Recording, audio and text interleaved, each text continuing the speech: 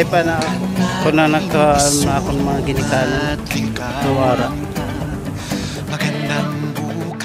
Dili na pa ano ng tao kay may mga tao man na may ambisyon man sa para sa ilang mga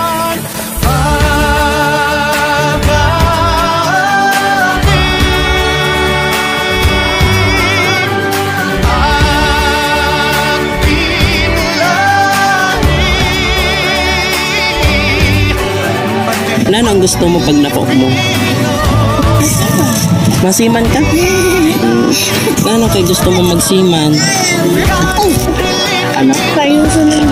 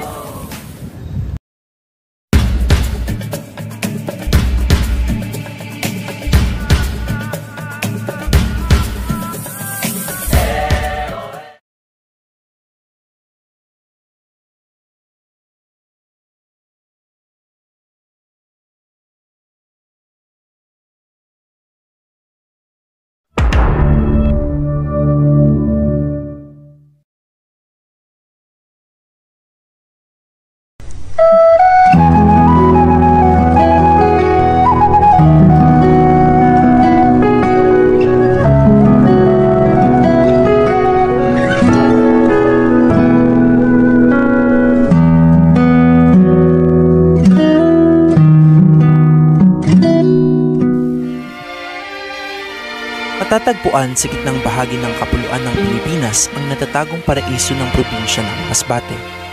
Nahahati ang probinsya sa tatlong pangunahing isla, ang Masbate, Ticao Island at Burias Island na binubuo ng 20 munisipyo, isang syudad at tatlong distritong pangkapulungan at may higit kumulang na 4,000 kilometro kwadradong lupain.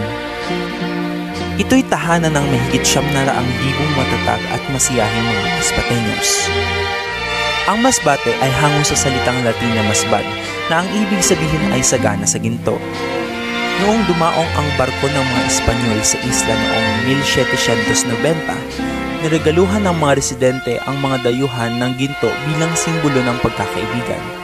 Nang lumaon, natuklasan ng mga banyaga ang maraming bilang ng minahan sa bundok na ngayon ay kilala sa tawag na bayan ng Aroroy. At alam niyo ba na sa panahon ng kolonyalismo ng Estados Unidos, naglabas ng executive order upang pag-isahin ang probinsya ng Masbate at probinsya ng Sorsogon. Dahil rito, naging distrito ng Sorsogon ang Masbate hanggang 1922. Matapos makamit ng Pilipinas ang soberanya noong 1946, kinilala ang Masbate bilang isang probinsya at itinatag ang siyudad ng Masbate bilang kabisera ng probinsya. Halina't ating tuklasin ang makulay at nakamamanghang makabagong Masbate.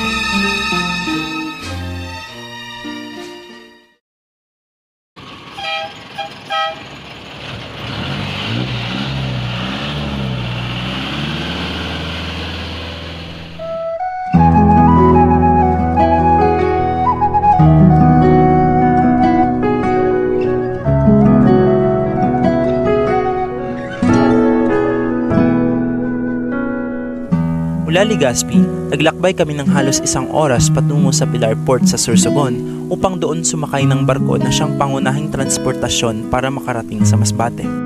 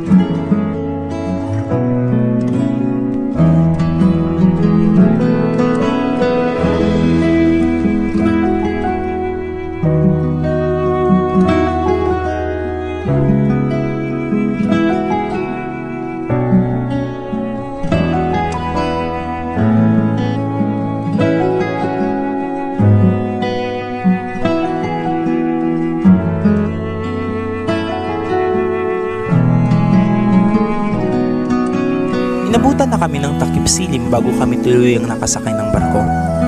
Tumagal kami sa laot ng apat na oras bago kami makadaong sa pier ng Masbate.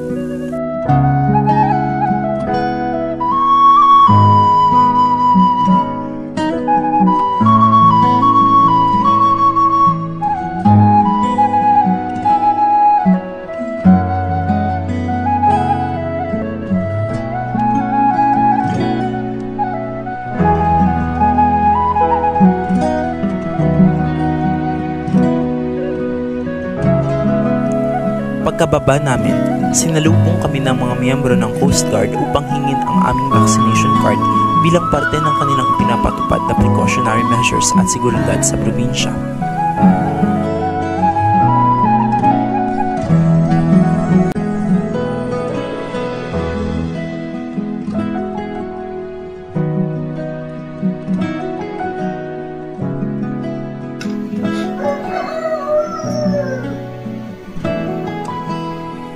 Kinabukasan, nagtungo kami sa tinatawag na social center o isang parke kung saan dito ginaganap ang mga programa tuwing may selebrasyon at okasyon. Ito rin ang nagsisilbing pong pasyalan, tambayan ng mga estudyante, jogging o recreational spot, at playground ng mga bata dahil sa mga aktibidad na pwede nilang masubukan.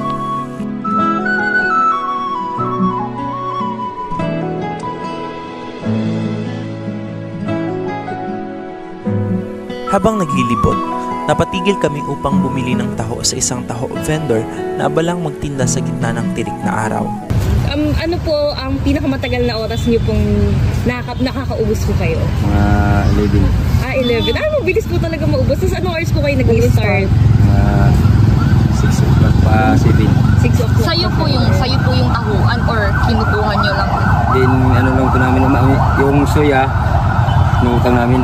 O dili mo po mapagal ang pag ano o Ako, kung isip-isip po, mapagal ka, pero kaya among yung pangabuhay. para sa mga. O sa mga anak. Ano, sawa. Sa loob ng walong taon niyang pagtitinda ng taho, ito na ang kanyang naging pangunahing hanap buhay na bumubuhay sa kanyang kabila ng init ng araw at bigat ng kanyang pinapasan sa maghapon, ang kanyang mga anak ang nagbibigay sa kanya ng pag-asa at inspirasyon upang patuloy na kumayod at sumuong sa mapanganib na lansangan. Ang social center ay kalapit lamang ng mga opisina at ahensya ng gobyerno tulad ng Kapitolyo, City Hall, Department of Agriculture, Department of Public Works and Highways at maging government services tulad ng ospital, Bureau of Fire Protection at Provincial Disaster Risk Reduction and Management Office. Makalipas ang dalawang taon ng pansamantalang paghinto ng mga social gatherings dulot ng banta ng pandemya, unti-unting nagbabalik ang kulay at mas may buhay ng social center na mas pinaganda pa dahil sa mga aktibidad at patimpalak kasabay ng magarbong pagdiriwang ng National Arts Month o ang tinatawag na Obra Mas.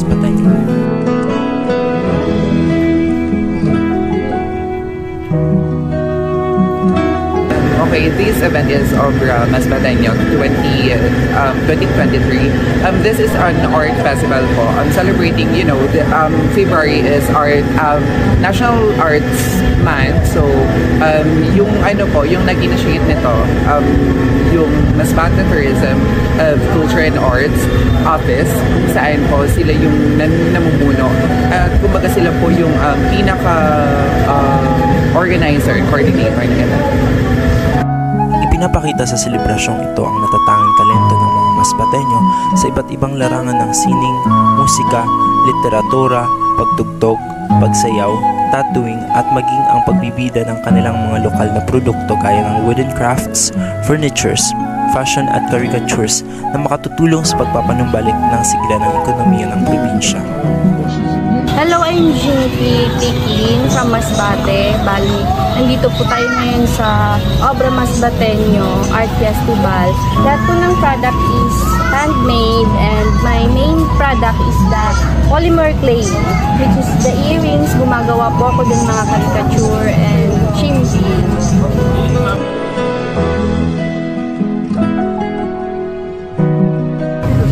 Um, ako po si E.J. Castillo, at Janel Castillo po, from Mobo. Then, nagkaklase po ako ng civil engineering for years sa Southern Bicol Colleges. Actually, nagtunalagat po talaga ako pandilyo. Kaya dugay naman, pero sa matudla, dugay naman po, nag-drawing din. Bata po, nag-drawing kay na-influensya ng pamilya, pamilya ko kay mga artist. Kaya pag doon ang pagkabata, nag-drawing-drawing, sabi ako sa mga sito ng kamuran, papa ko naga galittering mo. Ang pag-drawing, nang bakal ko mga gusto ko. Um, ako po ay isang model po ng uh, Rampada, um, the revolutionary of the design here in Masbate. Um, Nag-feature po siya ng mga local designers and yung mga local, um, ng kanilang mga uh, products or ng kanilang mga um, designs.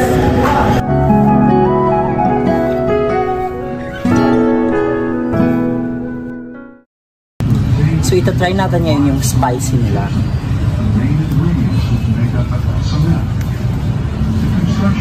Ay.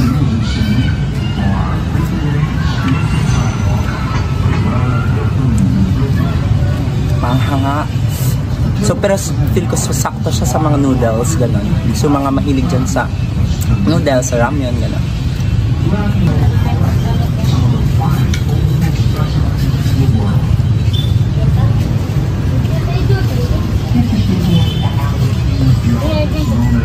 Sarap nga siya. Every time na nakakarinig ako ng spice, ang unang pumapasok sa akin, um, yung history ng colonialism dito sa Pilipinas, especially dito sa Bicol region. So, tikman natin yung um, special chili garlic oil nila. Um, yung mild lang, syempre, dahil ako ay bababa ang tolerance ko pagdating sa maanghang. Ito na, ito na. Hmm, actually, ay, sorry kuya.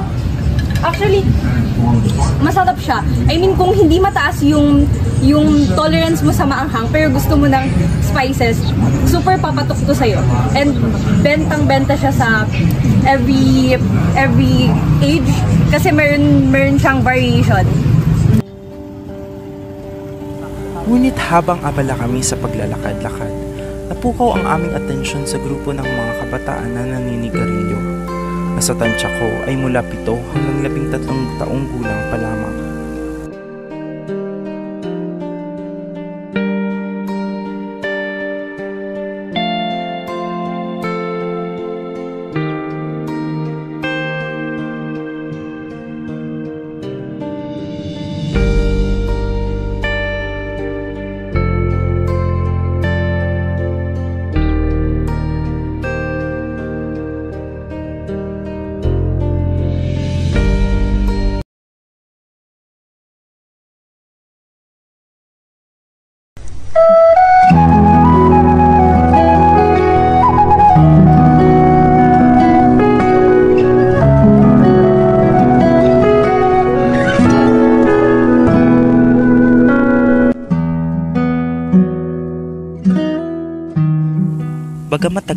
Karamihan sa amin, sa unang araw pa lamang ng aming paglilibot sa Masbate ay talaga namang namangha pa rin kami sa taglay nitong ganda, yaman sa kultura at unti-unting pag-usbong ng modernisasyon.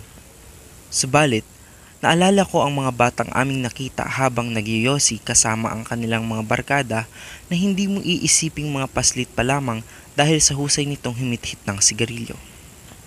Dahil doon, napatanong ako sa aking sarili, Sino ba ang mga batang iyon? May mga magulang pa ba sila? Paano sila natutong manigarilyo? Nag-aaral pa ba sila? Nakilala namin ang batang si Dondon na siyam na taong gulang at nasa ikaapat na baitang na. Isa si Dondon sa mga batang madalas ring tumambay sa social center kasama ang kanyang mga barkada. Anong ginagawa mo ngayon dito sa ano social center? Nagtitingin. Ah, nagtitingin ng art? At naglalaro ng alaro ko. Mhm. Matagal ka na, ay um, lagi ka dito? Um, sa loob ng isang linggo, ilang beses ka nagpupunta dito? Mga tatlong beses Ah, o tatlong apat. beses. Wow. O di ka pinagpagalitan ni mama mo? Okay lang. Kamisanan. Wala kang ginagawa sa bahay. Like, oh, si Don Don umalis na naman. Imbis mautusan dito, tumulong sa kapatid. Nagsiselfon lang. Ah, Ah, nagsiselfon nagsiselfon ka lang sa bahay. Mga bata na katulad mo, sa tingin mo, ano dapat ang ginagawa nila? Like, ano dapat ang pagfokusan nila? Ano, pagbasa ng mabuti. Ay, Pagbasa ng wow. mabuti. Tapos, Ano pa? Hindi magpapasaway sa ama. Ah, hindi Wow. wow. pasaway sa pasaway Um, sa ama. sa loob ng maghapon, sa tingin mo, ilang oras doon ang dapat nakalaan sa paglalaro at sa pag-school? Mag, bago ako mag uwian sa school, naglalaro ako ng mga games. Pag uwi sa bahay, anong ginagawa? Kumakain, tapos Kain. minsan nagahugas ng gasal. Ano kaya pangarap ni Don Don? Police. Wow! Police! Ano man, ano kay gusto mo magpulis? Amo lang, kaya para mauli ko mga dapat. Mga, hold, mga hold-upper? Okay. Hold-upper lang hulihin mo? At mga sasamahan ng mga tao. Ang pasang tao. Ang paano mo nasabi na masama ang isang tao? Kasi ang nag ang nagre-rape at ang nagbabasta sa babae. Ah, Totoo. ah, paano mo naman nasabi na mabait ang isang tao? Kasi nagtutulong sa nanay, nagtutulong Ah, sa ama. Andun mama ko sa Kuwait. Ah, ano sa Kuwait ang mama mo? Nagtrabaho ko. Kailan umalis n- um mama mo? Mga ano pa lang ako, 6 years old. Six yung years mga old. Ang naiiwan sa'yo sa bahay ay si Ate ko at si papa ate ko. at papa. Kumusta man pag-eskwela mo? Mabuti man po. Nano may honor ikaw o nano? Pera nano ang honor mo? And, ano ako? No, first ako. Ah, first, wow! Mga anmensahe mo sa mga kapwa mo mga bata na ada dida sige lang pasaway dili man naga adalasin maayo. Sa na mahuli silang mga polis. Sana mo pulis. Wow, pangarap talaga ni Don Don maging pulis. Mataas ang tingin ni Don Don sa mga pulis. Ah, Sasaludo pa ako pag may mga Ah, may nakikita na polis o Paano? sundalo. Paano? Pakita mo nga sa amin doon, doon sa camera ko. Ay, wow! Sa pakikipag-usap namin kay Dondon, nakaligtaan ko saglit ang grupo ng mga kabataan na nasaksihan namin kanina. Napatunayan namin na hindi pa rin pala nauubos ang mga batang tulad ni Dondon na may pangarap at prinsipyo sa buhay. Tama pa rin si Jose Rizal na ang kabataan ang pag-asa ng ating bayan.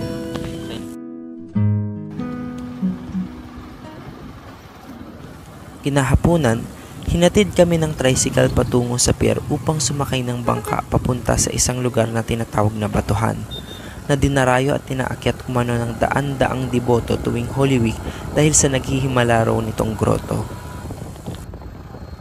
Babanam kevalam Babanam Babanam kevalam, Babanam kevalam, Babanam kevalam, Babanam kevalam, Babanam kevalam, Babanam kevalam, Babanam, Babanam.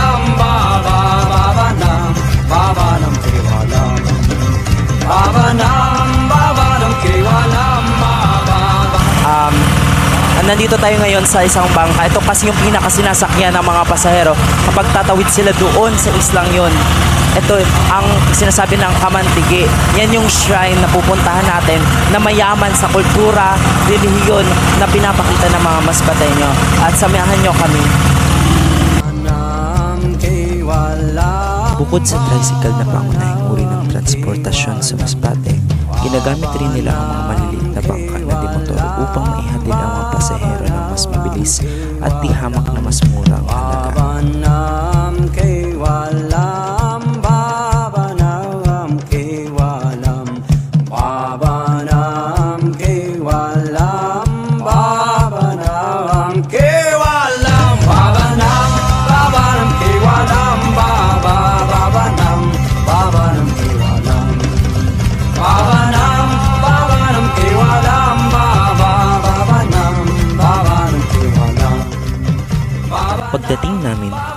Napupo ang aking atensyon nang makita ko ang isang payak na komunidad na malayong malayo sa itsura ng syudad na nasa sentro, na kung iisipin, ilang kilometro lamang ang pagitan. Sa di kalayuan, natanaw ko ang ginagawang magarbo at modernong simbahan. Pinatayuan ang barangay Batuhan ng malaking simbahan dahil sa dami ng mga debotong nagdodonasyon at dumarayo rito upang mabisita ang naghihimalang imahen. Matapos ang ilang minutong lakaran, sumakay kaming muli sa top-down o isang sasakyan na ibang version ng tricycle. Ngunit bukas ito at kayang magsakay ng hanggang anim na pasahero. Bagamat simentado ang daan patungo sa aming bakay, ngunit habang tumatagal, patarik na ng patarik ang dinadaanan namin.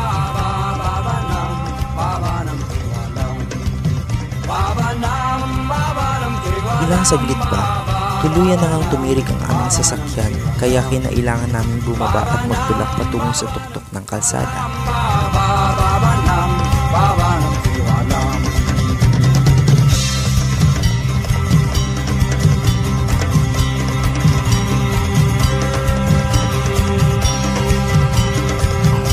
So kakarating lang namin dito sa may sa Batuhan.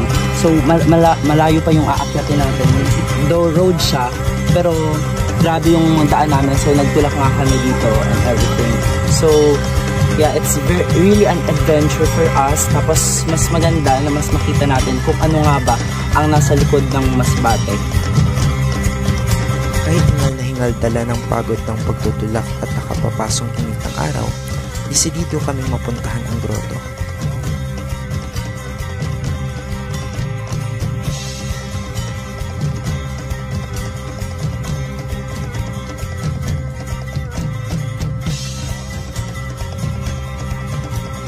Basa, madulas, nilulumot, matarik at delikado.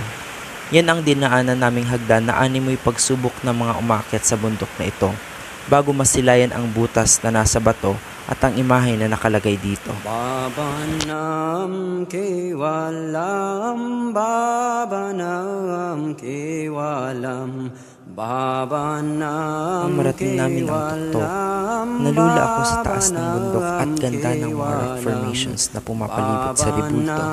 Ngunit ang katakataka ay ang mga marka sa bato na mistulang mga pinta na ginawang palatandaan. Babanam kewalam, babanam kewalam, babanam, babanam kewalam, baba, babanam, babanam kewalam, babanam, babanam kewalam,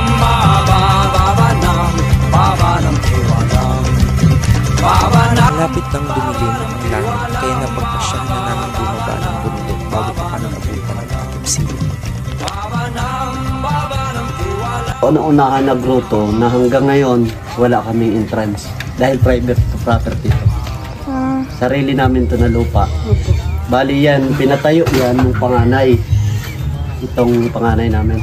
Kaya lang nasa Manila siya ngayon.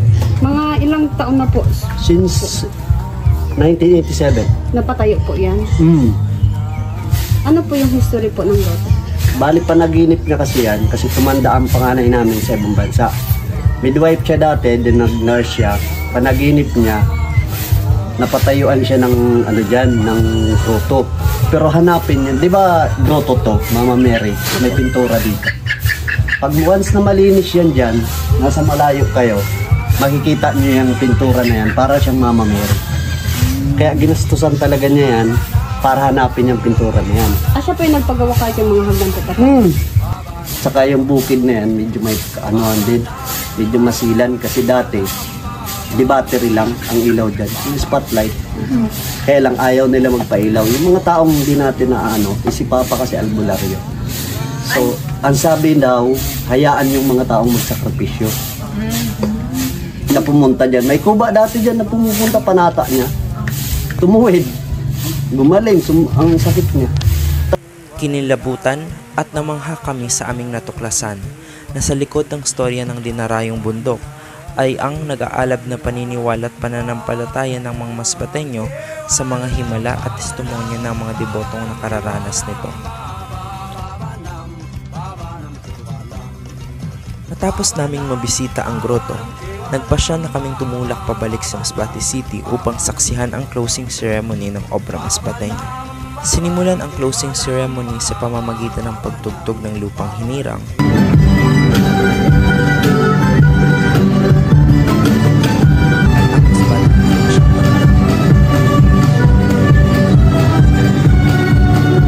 Sinimulan din ito ng mga sayaw, pagkanta ng original Masbateño songs.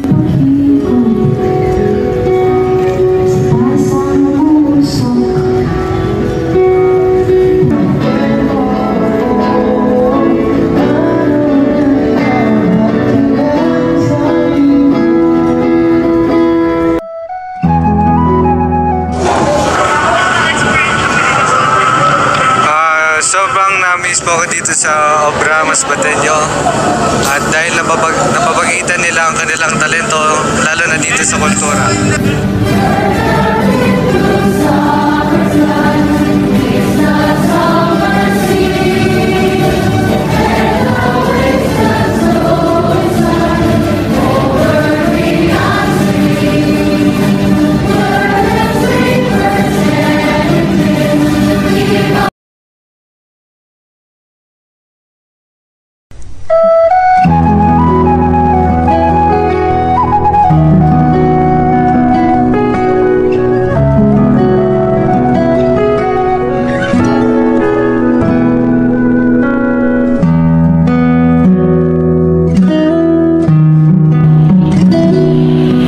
Bayan ng Masbate ay hindi lamang kilala sa mayaman nitong kultura, paniniwala, at nagagandahang mga tourist attractions, kundi maging ang pagiging relihiyoso ng mga tao rito.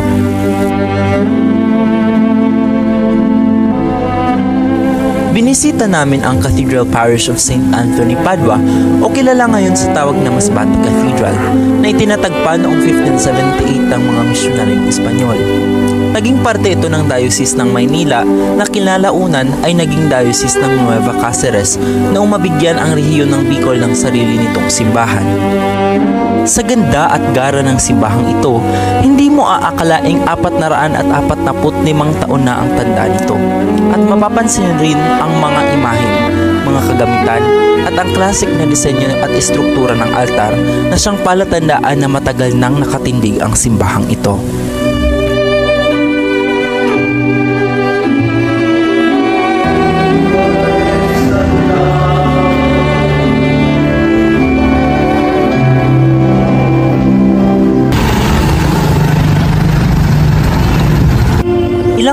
Lang ang pagitan ng Masbate Cathedral at ng isa ring sikat na religious landmark, museo at pilgrimage destination sa syudad, ang Villa Bayot o Balay ni Bayot sa Minasbate.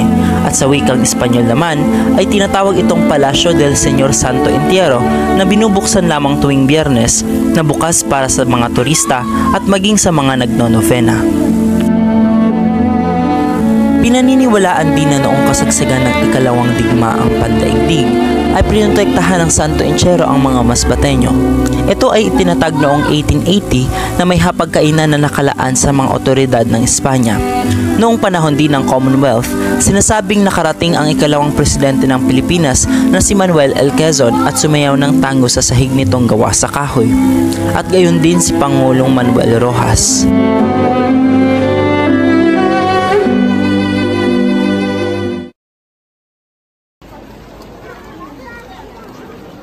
Isa ang mga masbateño sa pinakaaktibo pagdating ng Semana Santa dahil sa maraming bilang ng mga deboto at simbahan sa Masbate.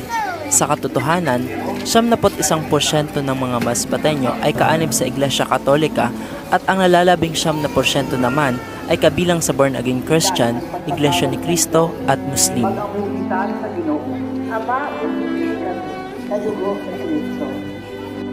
Ang Holy Cross Parish ng San Jacinto sa Ticao Island, Masbate ay isa sa mga Jubilee Churches o umabot na ng limang daang taong nakatatag sa Pilipinas at sa Diocese ng Masbate.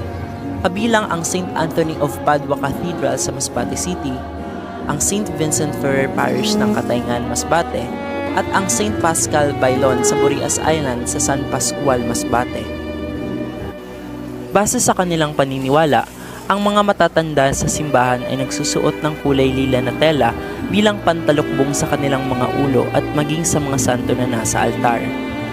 Ang prosesyon ng higit dalawampung mga patron ay nililibot sa buong bayan sa loob ng tatlong araw na sinasabayan ng daang-daang mga deboto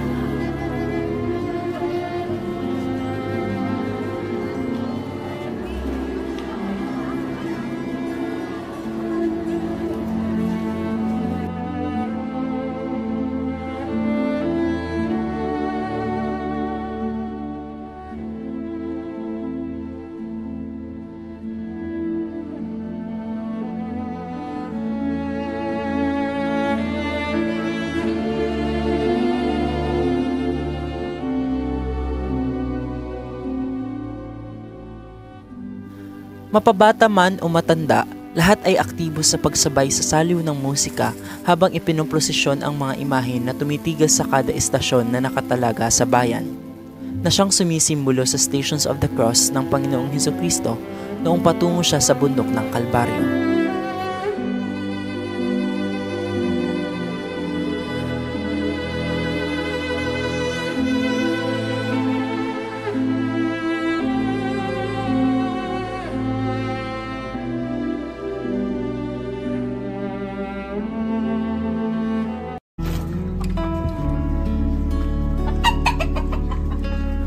Isang masikip na iskinita, matatagpuan ang payak na komunidad ng isang Muslim community sa Masbate.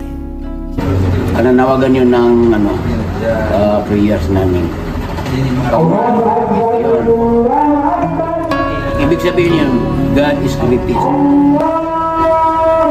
Ang ibig sabihin yun. God is with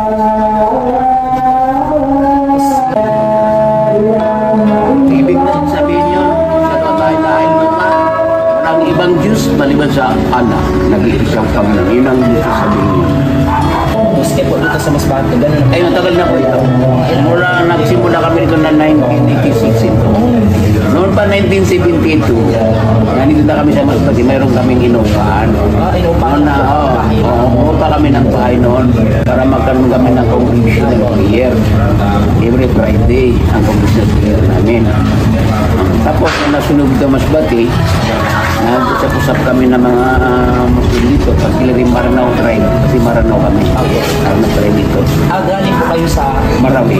Marawi. Oh, gusto dito po kayo na Opo. Anak buhay. Yun. Uh, gusto namin ito masubati kasi timing po. Very loving people lang. Doon, doon po sa Sa, sa Marawi, okay lang yun. Kaso, pag malilitan ka, pag mo hindi ko Naabutan niyo po ba yung nangyari ano ba? Yan nangyari doon. Hanggang ngayon, hindi pa. Hindi pa nakabalik yung mga tao na wala ng bahay. Kasi mayroon na area doon na sinasabi na ground zero. Wala pang nakabalik doon. Super boss pa rin Wala pang. sabi daw may pinapagawa. Na ano yun eh. Sinira ni Duterte. Akala ko yung niya lahat-lahat yung paligid namin. Hanggang doon. At wala pang nakabay na bahay dun sa Kaya mahirap talaga ang dinanas namin doon sa Marawi. Masakit na masakit talaga. Kung, kasi kung makapunta ka doon, masasaktan ka talaga sa nangyari. Na nadama yung mga tao na walang kamalay-malay sa mga ginagawa mo sa mga sabi natin kasamaan namin kasi taga doon sa amin. Uh, doon sa iyo, kasamaan mo din. Din. Mayroon naman mabait, mayroon naman hindi. Uh, dahil sa politics din, kung sakali politics o ano, hindi nakakasundo-sundo yung mga prinsipyo ng mga ibang tao, yun ang nangyari sa atin. Nagdama yung walang kamalay-malay sa mga mas mga pangyayari. Hindi ako nakawin ng malakas panggira. Nakawi ako last two weeks na ako darating dito. Pero hindi ako nakatagal doon. Parang ayaw ko na makita yung nangyari sa amin. Yung mga bahay ng mga tiyahin ko, relatives ko na mga matata, wala na wasak-wasak. Talaga kung makapunta ka doon, parang maiyak-iyak talaga. Ay hirap talaga na linas namin. Kung nasaan napunta yung isang pamilya, magkakaibang bayan na napuntahan niya. Dahil sa sulok ng Pilipinas, umahanap ng matahimik na bayan. So ito po yung nahanap niyo, yung Masbate City po. Eh, ito mas bati talagang talaga. Kasi nung nag-COVID pa dito, sa buong mga probinsya city sa Pilipinas, lockdown o ng 3 years doon. Eh, ayaw yung mga PNP, eh, hindi nila pinapapunta yung mga Muslim sa mosque. Pero sa Masbate, wala. Open kami dito. Palagi lang sila pumupunta dito, nagbibigay lang ng mga ayuda, nagbibigay lang ng food supply sa amin. Wala kami masabi sa government sa Masbate. Either province or city, talagang mahal na mahal nila kami dito.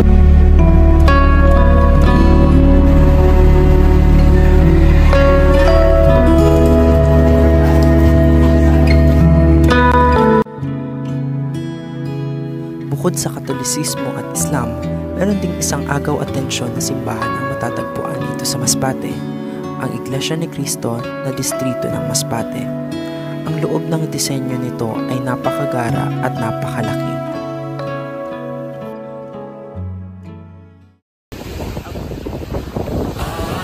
Dahil sa napapalibutan ang Masbate ng mga kapuluan at dagat, lubhang sagana ito sa magagandang mga lugar na pwedeng bisitahin at tuklasin. Dahil nga sa tatlo nitong malaking isla, napakaraming mga lugar ang nadiskubre at dinidiskubre pa lamang ng mga lokal na pamahalaan upang maipakilala hindi lang sa mga karatig lugar nito, kundi maging sa buong Pilipinas at sa buong mundo.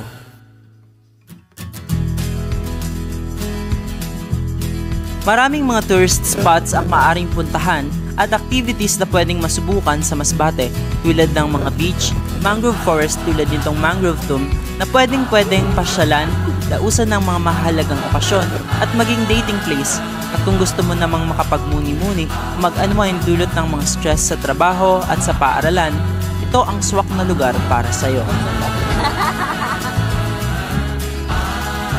Ang Mangrove Tomb ay isang sikat na pasyalan sa Masbate, lalo na sa mga nature lovers dahil sa ilang ektaryang mangrove forest nito, na pinagdudugtong ng mga bridge na papunta sa cottage at mga activity areas. At bilang konsiderasyon na rin sa mga mangrove trees, lahat ng mga parte ng bridge na tinatamaan ng mga papalaking mangrove trees ay binilalagyan nila ng butas upang malaya itong lumaki. Patok din itong tuwing gabi dahil sa dami ng mga alitap-tap na dumarayo rito na mistulang mga Christmas lights sa dami. Dagdag pa dito ang mga street foods na itinitinda tuwing gabi at ang mga karaoke na pwedeng rentahan. Hindi may pagkakaila na kaunti pa rin ang bilang ng mga turista na dumarayo rito dahil sa mga bako-bakong daanan at maging ang mga hindi ganon ka-skilled na mga tourist guides sa kabila ng mga magagandang bagay na pwedeng i-offer ng Masbate. Next stop, Vitoon Beach na marami ring aktibidad na pwedeng gawin tulad ng kayak, diving, snorkeling, surfing at iba pang mga water activities na pwedeng masubukan. Meron din silang fish sanctuary na pinamumugaran na ng maraming klase ng marine life na magpapasigla sa ecosystem at biodiversity ng karagatan hindi lang ng Masbate kundi maging ang mga karatig na lugar nito na makatutulong sa mga lokal na mangingisda sa kanilang kabuhayan. Dahil sa lakas ng mga alon, hindi kami nakaligo sapagkat sandamakmak na basura ang nagkalat sa dagat na nakababahala dahil ito ang lumalason at pumapatay sa mga lamang dagat at coral reefs. Naabot ang vacant nyo. Next stop, ang Winter Farm Resort na isang infinity pool na matatagpuan sa Milagros, Masbate. Pwedeng pwede ito sa mga sawana sa dagat. Murang-mura ang entrance fee at sulit dahil pwede kayong maglaro kasama ang inyong mga barkada at kapamilya. Tiyak akong isa rin ito sa mga bucket list ng mga nais makapunta sa Masbate. ang Buntod Reef Marine Sanctuary and Sandbar na alam Maldives ang itsura dahil sa maputi at purong buhangin nito at ang world class rin nitong sandbar. Ang tanging transportasyon na maghahatid sa iyo rito ay ang pagrenta ng isang bangka. Maaari ka rin gumamit ng mga cottage dito para sa mga nais magdala ng pagkain at magpahinga saglit habang naliligo sa dagat. Noong pagpunta namin, maraming mga nagsisilutangan ng mga patay na hipon marahil di umano ito sa mga sunod-sunod na lindol sa Masbate. Kung ang ibang bansa ay merong Palau, Hawaii, Thailand, Indonesia at New Zealand, syempre hindi rin magpapahuli ang Pilipinas at ang Masbate sa mga makapigil hiningang rock formations, kuweba at islets nito. Kaya kung ikaw ay isang nature lover o mahilig mag-explore, tara na sa Masbate. Ako po si Gerardo Mitra Presado. Ako po ang officer in charge dito sa Provincial Tourism Culture and Arts Office. Kumusta po ang um, pangkasalukuyang estado sa turismo dito po sa Masbate? Um, ang estado sa turismo yan na dito sa Masbate, luway-luway naman kita nagabalik sa sa dati. No? Um, nagahimo kita sa mga parameters, mga interventions, para lang po na bumalik sa sigla kag sa numero ang turista na nagapasya dito sa Masbate. Usad po sa ni, gina padagos nato na ginaayos sa na si Governor ko ang connectivity sa Masbate sa iba-iba na probinsya kag rehiyon na nakapaikot sa sa Masbate. Panduwa, na padagos kita nagahimo sa mga activities para sa ito na nakalipas pa na obra para mas ma-appreciate sa tao kung ano na, na ano mga maayo dili sa probinsya sa Masbate.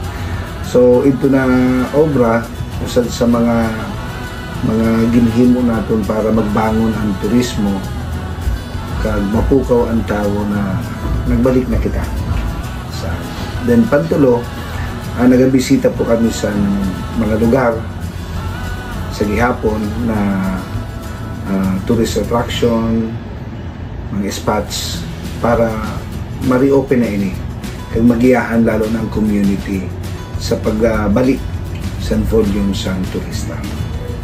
Ito po sige sabi mo na para mag-igong connectivity ang tandaan mo. Paano nyo ba ito ma-utilize o ma-ihimo na i-connect po ang Paagi po sa ano, sa mga biyahe. So nag-concentrate kita sa sa accessibility, transportation, accessibility. So may dati ang access natin pilar lang, pilar lang kag uh, Piduran. Yan na igawita sin uh, Lucena, Lucena to Masbate City, igawita sin San Andres to San Pascual to Aroroy, igawita igawita Pasakaw to Mobo, Piduran to Masbate City, Piduran to Mobo, Pilar to San Jacinto, Pilar to Masbate City, Pilar to Mobo. Then igo na kita sin Pilar, San Jacinto, Tumubo. Then igo kita sin uh, Mintak, Kalbay, Mintak Katayngan to Kalbayog to Cebu City, Mintak Katayngan to Bilyaba Leyte to Bugo City, Mintak Katayngan to Bugo City, um, Kawayan, Tubugo City. So, ina na connectivity, na accessibility na ginaayos naton. Uh, ginahimo nato nila para ang turista maging maging ang masbate maginagihan sa turista from from north to south. accessible po. Um, so mostly um, sa ano po ano yung dagat po ano yung wala pa po kasi sa eh, maliban po dito sa airports naman. Mm, sa kuan po gina ginaayos po nato na sana saya na ginaayos po nato na bumalik ang Philippine Airlines na makisabayan dito sa Cebu Pacific. At the same time, ang panduan nato na ano na hopefully hopefully mangyari na magkaingo kita sa bago na airport. Sige po, pandua po. Nano, mga nano po ang mga pwede namon dayuhon didi sa Masbate na para pumukaw sin pansin ang mga ano, turista po pag natin hali sa ibang bansa o mas didi po sa uh, mga kataning kataning ng mga lugar sa Pilipinas. Um, ginasabi nato na ang Masbate microcosm of the Philippine archipelago. Uh, we are at the center of the Philippine archipelago. Kumbaga, accessible kita sa tanan. Um, mga pasyaran sa Masbate, kung anong gusto mo, iba kita. So, from nature-based, kita man natin ang pinakasikat ang buntod, Katandayagan, Gawitan Lapus-Lapus Island, Halea Nature Park, Bungsang Lay Mangrove Forest Reserve, sa Didi Palanginan area. Pagkanto natin sa Burias, igo sikat na Tinalisayan na Island and Sandbar, may Sombrero Island kita, may Animasol Island. So, yan ang mga nature-based natin. Didi sa South, igo kita sin Balangigi Island, Lamanok Island, Takawayan, Damdamo. Uh, we are now claiming that the longest sandbar in Bicol region is in Kawayan, Masbate. Gina-prepare natin ang community para mas maka-income sila dito. Pagabot naman sa adventure, we have the the the best and the number one dive diving area dive site in Asia yung Mantabol in San Jacinto, Masbate. Second, sa adventure. So, aside from scuba diving, so we can have ano uh, mga mini rodeo experiences sa ating mga rancho. So, damo pa po sin mga adventure kita dito sa sa Masbate. Then sa religious naman, sa religious damo kita sin may mga shrines kita. May mga faith healer kita. Damo kung kung ano po ang atong gusto kung ano atong gusto definitely igwasin mas igwasin yung offer ang Masbate food we have all the food.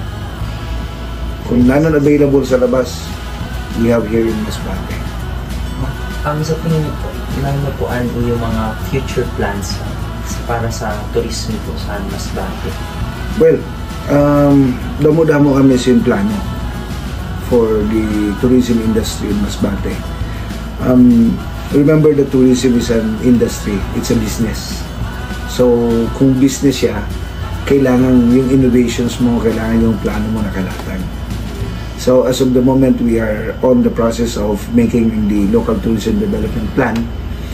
And second, uh, after, uh, we are really organizing the private sectors, our partners. Sino ang nag invest Si private sector. Anong ginagawa ni government, the tourism? We are just enabler. We just enable, we just support the private sector. So in this manner, like um, this year, we are really focusing in the culture and arts. Remember that provincial, our our office is provincial tourism, culture and arts. So na na, na experience you know last week that we had the the obra So this obra focuses in the culture and arts. So after after this, uh, we will be calling all the the private individual, individuals who, who can help us be a partner for this endeavor. Um, sa tingin niyo po, nano po ang rason kay mas bati ang ginpipili sa nagkadamuan mo dayuhan ng nagkadamuan? Um, well, sa primero dili when we started tourism here in Masbate, when we promote Masbate throughout the Philippines and, and internationally, alam niyo po, ako mismo ha, personal experience ko, sa Philippine travel markets, travel missions, sa mga trade fairs, etc., travel fairs, doon, tapos, come to Masbate, visit Masbate.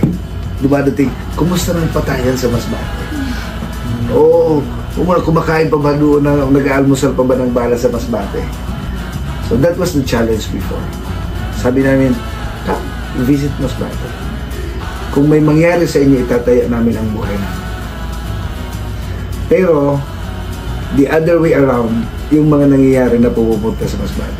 Because they, they, kumbaga, they were expecting that Masbate is somewhat a very poor province, a very poor place ng mga tao sa Masbate parang wala nang makakain, ganyan, nag-aaway-away, nagpapataya.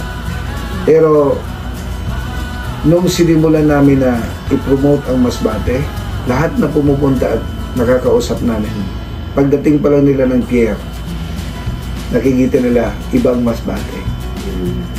Kasi sa pier pa lang, tayo na ang isa sa may pinakamalaking port sa Bicol Region. Ah, second, pagdating sa sa sa ano sa kalsada they were expecting na ang kalsada natin bako-bako talaga rough road very rough road. Pero every time na pumupunta may napupunta dito may iba yung expectation. Yung expectation versus reality. Um, pangatlo because of this accessibility that we open the, the we open Masbate to be the gateway from north to south to Mindanao, from Mindanao to, to north, to central Philippines. So, nabawasan natin ang volume sa sa Alin Matnog uh, Alin sa Matnog Sorsogon na volume ng ng uh, bihikulo na bumabiyahe. So marami na ngayon dumadaan dito sa Masbate. So once kasi na, nadadaan na isang lugar, tumataas yung economic activity niya.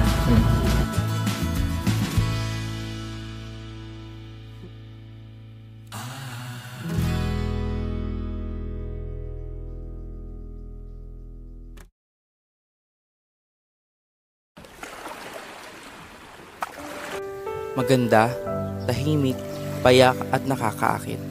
Ganito ilarawan ang Tikaw Island na ikalawang isla sa tatlong isla ng Masbate. Perpekto ang lugar na ito sa mga nais mapag-isa o di kaya lumayo sa maingay na syudad. Ang bukang liwawiway dito ay talaga namang nakakamangha dahil sa napakalinaw na tubig na humahaplos sa maputing dalampasigan at huni ng mga ibon na nagsisiawitan na siyang tanda ng pagsikat ng araw.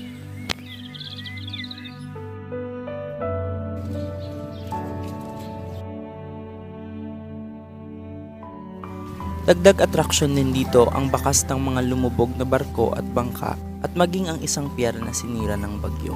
Natyak akong magpapadagdag sa kakaibang karanasan nyo sa Masbate.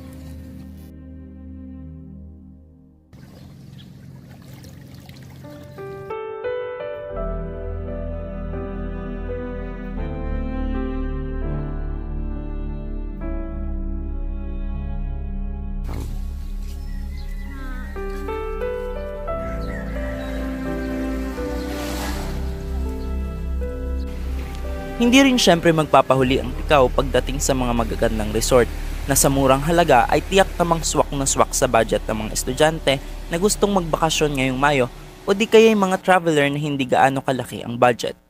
Ang Gabis Beach Resort ay matatagpuan sa may San Jacinto Masbate na may magandang beachfront, komportableng mga higaan at function halls na pwedeng pagdausan ng mga selebrasyon. Dito rin kadalasan nag-check-in ang mga foreigner na nagbabakasyon sa Tikaw dahil malapit lang ito sa mga primary services ng bayan.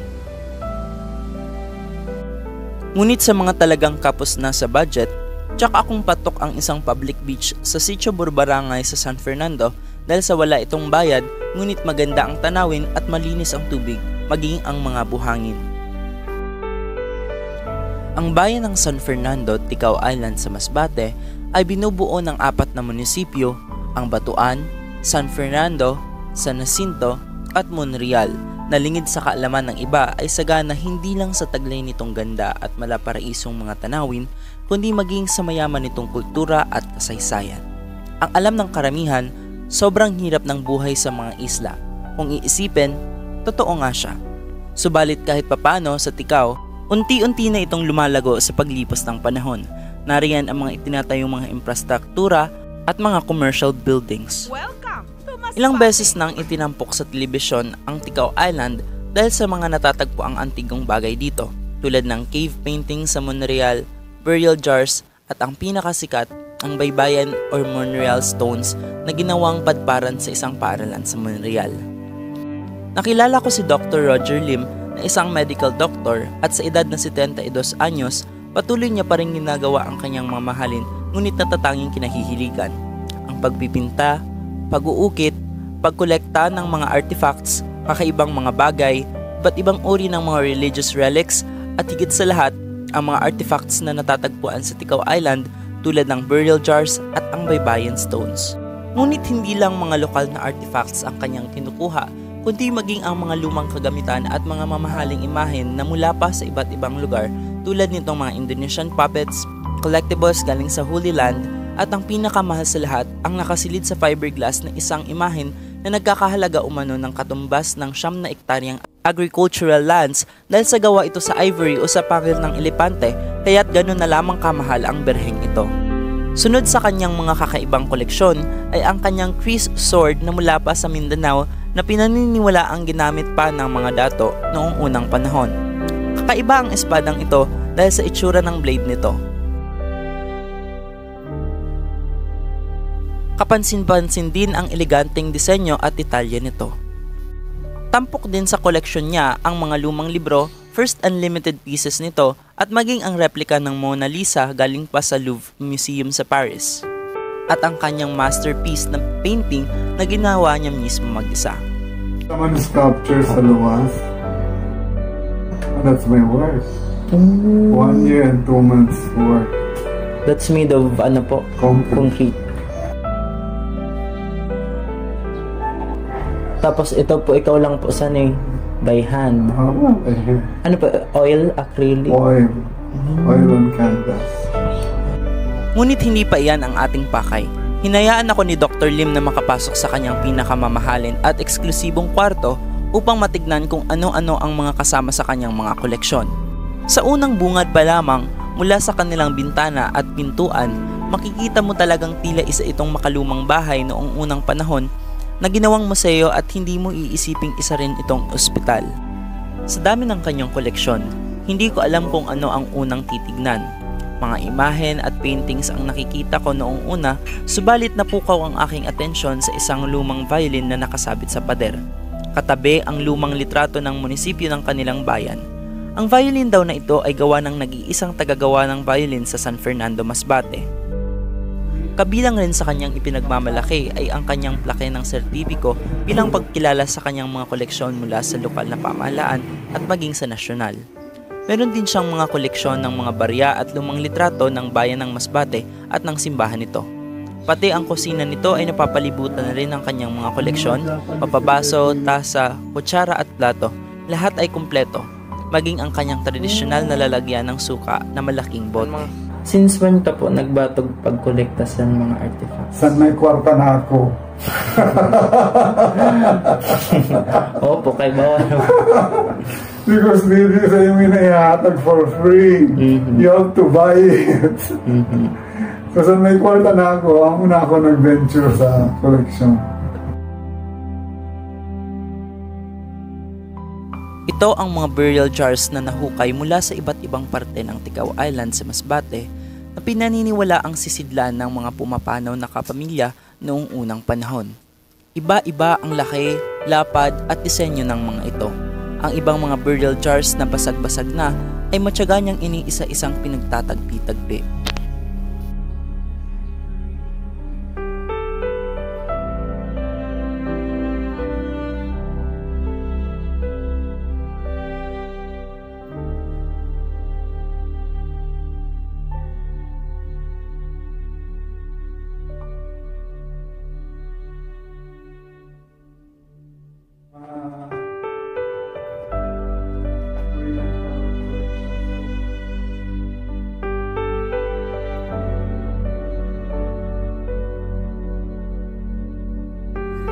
Isa rin sa pinaka-iniingatan niya ay ang sinaunang gold-decorated na ngipin ng tao na nahukay din sa kanila. At ang pinakamahalagang koleksyon niya sa lahat, ang baybayin o Monreal stones na kasalukuyang nasa pangangalaga ng National Museum ngunit nasa kanya ang authentic na kopya nito. Ang Tikaw stones ay dalawang limestone tablets na may nakaukit na baybayan characters na sa kasalukuyan ay hindi pa rin matukoy ang kahulugan kahit na ng mga pinakabihasa sa baybayin. Ito ay natagpuan ng mga mag-aaral sa Rizal Elementary School sa Monreal. Ito ay may timbang na 30 kilo, kapal na 11 cm at may habang 54 cm. Bagamat nanghihina na si Dr. Lim, hindi pa rin siya tumitigil sa kanyang passion sa pagkolekta ng mga makalumang bagay. Ito ang nagpapasaya sa kanya ng walang anumang katumbas na ginto at salapi. Ito rin ay may malaking implikasyon sa kultura at kasaysayan hindi lang ng Masbate kundi maging ng Pilipinas dahil bagamat ito ay isang isla, ating napagtanto na may mga sinaunang tao na ang namuhay rito. Dahil rito, maraming mga archaeologists, tourism officials, international explorers at maging collectors ang bumibisita kay Dr. Lim.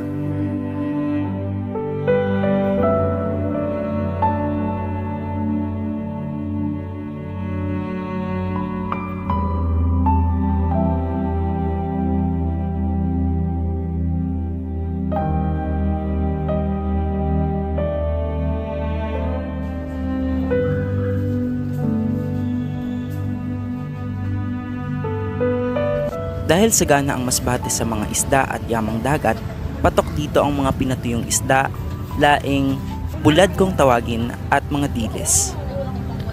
At syempre, hindi pwedeng mawala ang pinakamamahalin sa lahat, ang dried pusit na umaabot ng ilang libo ang kilo.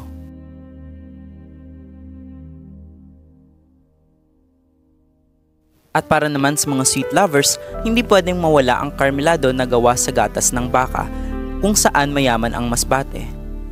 Sa pagpunta sa Masbate, maraming ekta-ektaryang rancho ang madadaanan kung saan maraming mga baka ang binibreed dito. Ang probinsya ay mayroong 130 rancho at higit 40,000 baka base sa data ng Philippine Daily Inquirer. Base naman sa tala ng gobyerno noong 2020, nakapag-produce ang Masbate ng 10,000 metric tons na baka kada taon na nagtala sa kanila bilang una sa 10 probinsya sa buong Pilipinas na may industriya ng bakahan. At ang pinakamalaki naman sa Bicol Region. Ang Rodeo Festival ay isinasagawa tuwing ikalawang linggo ng Abril. Ang taunang selebrasyong ito ay kinonceptualize ng grupong tinatawag na Makusog noong 1992. Ang selebrasyong ito ay ginawa upang makapagpadagdag sa bilang ng turismo sa Masbate at para na ring maibida ang lumalagong industriya ng bakahan sa Masbate. Ang pinakaunang Rodeo Masbateño Festival ay inilunsad sa rehimen Emilio Espinosa Jr. noong 1993 na unang tinatawag na Rodeo Filipino at naging ganap na Rodeo Masbateño Festival noong 2000 o 2001. Noong Setyembre 2, 2002, idineklara ng dating Pangulong Gloria Macapagal Arroyo ang Masbate bilang rodeo capital ng Pilipinas. Mula noon, ang Masbate ay tinatawag sa iba't ibang pangalan tulad ng The Cattle Capital, Ranch Capital, Cowboy Country, at Cattle Country ng Pilipinas.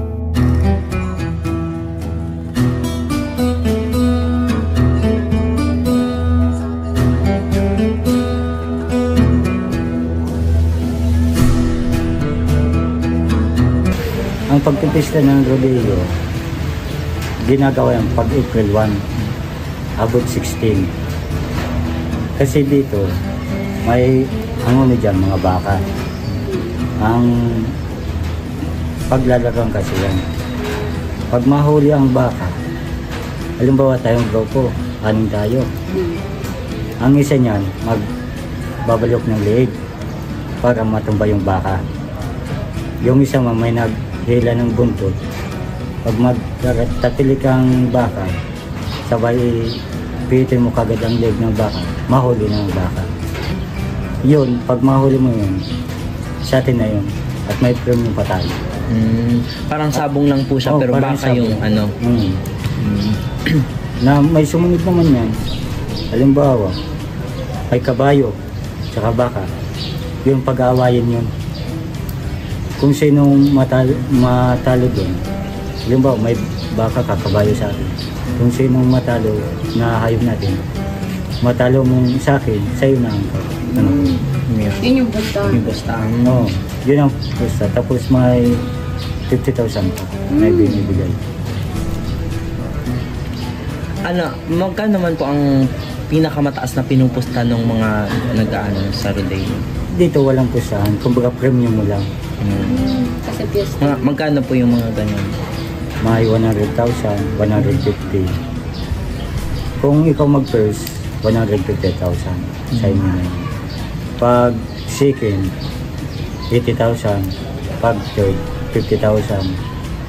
Pag port mo, 25,000. Ay, yung mga sumasakay po sa kabayo ba o, o sa baka, may ano po sila, sila po yung nagpinupustahan or may bayad po sila? Ano? May bayad yun. Pag sumakay ka sa baka na di ka malaglag, Ah, na minuto o isang oras, may sumunod na sa'yo, may angkas naman. Kung yung malaglag, kung halimbawa, lima kayo, na yung apat nalaglag, ikaw din ka naglaglag, ikaw ang champion. Sa'yo na yun, may premium ka pa. nakakita ka na po ba dito ng mga napilaya na ano? Oo, na, meron ano? Bakit? May ano? Pag abante ng baka, na, oh, talagang apakan ka, nakapula ka, talagang yung sungay nila, eh, ano talaga sa'yo. Talagang, kumbaga, sasakmalin ka. May natutusok. May natutusok naman. Wala, wala pa naman po namatay. Nabuhay naman. Wala pa naman. Totoo po ba na kapag yung taong nasa loob ng ano tapos nakapula siya yung susugurin ng bata? Oo. Dapat, kailangan siyang, mabilis siyang tumakbo. Ma- mabilis siyang mag-iwas. Kung halimbawa, magdiretsong baka, harapin mo siya. Magtatagilid siya lang. Para, para ang baka, maka ano, makadiretso lang. Na di ka matamaan. Minsan, nakikita ninyo, halimbawa sa Facebook, at nakikita ninyo dyan, ang iba, nagpapabog, minsan baga nag-akit sa may bakod. Yan ang ginagawa dito.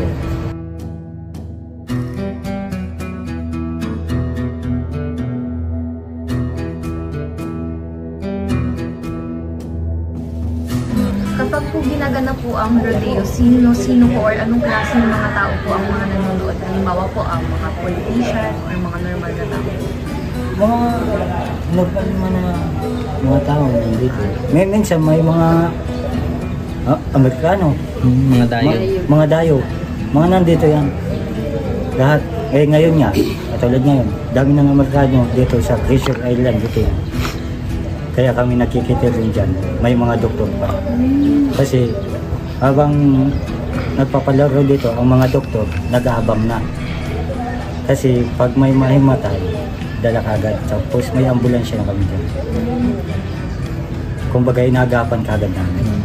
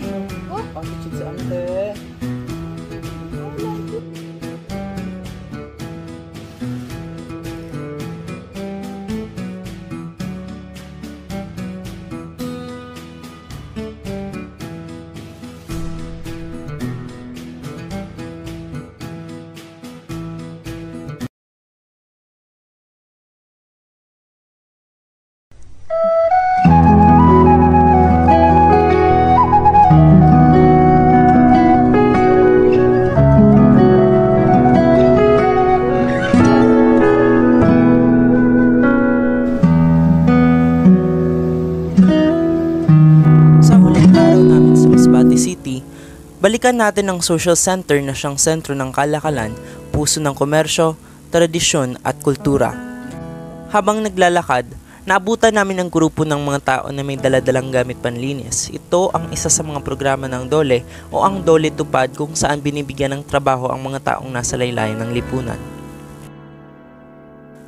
Nagtungo muna kami sa City Hall upang malaman namin ang estado politikal, ekonomikal at pangkabuhayan ng mga masbatenyo. Nasulyapan namin ang mahabang pila ng mga magsasaka na pumipila upang makatanggap ng kaunting tulong mula sa Departamento ng Agrikultura gaya ng fertilizer at pesticide. Si Tatay Saldi Bacar na nasa 64 anyos na ay isa sa mga matyagang pumipila sa labas ng Department of Agriculture sa loob ng higit dalawang oras at sa gitna ng pagtitiis ng gutom, ulan at mahabang pag-aantay upang makakuha ng pampataba sa lupa para sa kanyang sinasakahan na lupain kahit pa malayo ang binahin nito. Ay sa Financial Assistance and Agriculture. Ano po ang aayon sa Kuan po na, eh, ano ninda ng mga gamit abono kung pang kung ano, ano ni mo no. Eh, ang asawa ko at lamayan niya niyan. Hmm po. Nagano ko sini nag ano nga release kay para makakuan mo sa pagkuma makabulid. Pero ano po katuig naga Lugay na. San, sultiro pa ako, nag-uman ako basta nag-asawa. Ka, kaso la, san ano na, wala na ako mag-ano kay napilay naman ako. Nagasuhulan ako pag ano, pag arado, pag ano makatanom la. Ano po yung mas kung nakapadala na po ng ano po kayo naga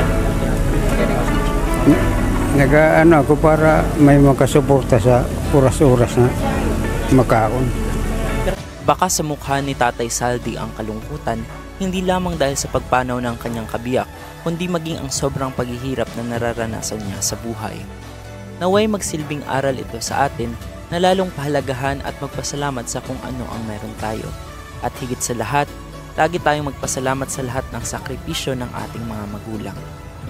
Ayon kay Ginang Grace Graciana Tagnipes, kasalukuyang officer in charge ng Provincial Agriculture Office, bagamat may ibinibigay silang tulong, aminado siya na hindi pa rin ito sapat upang tuluyang mapunan ang pangangailangan ng mga magsasaka.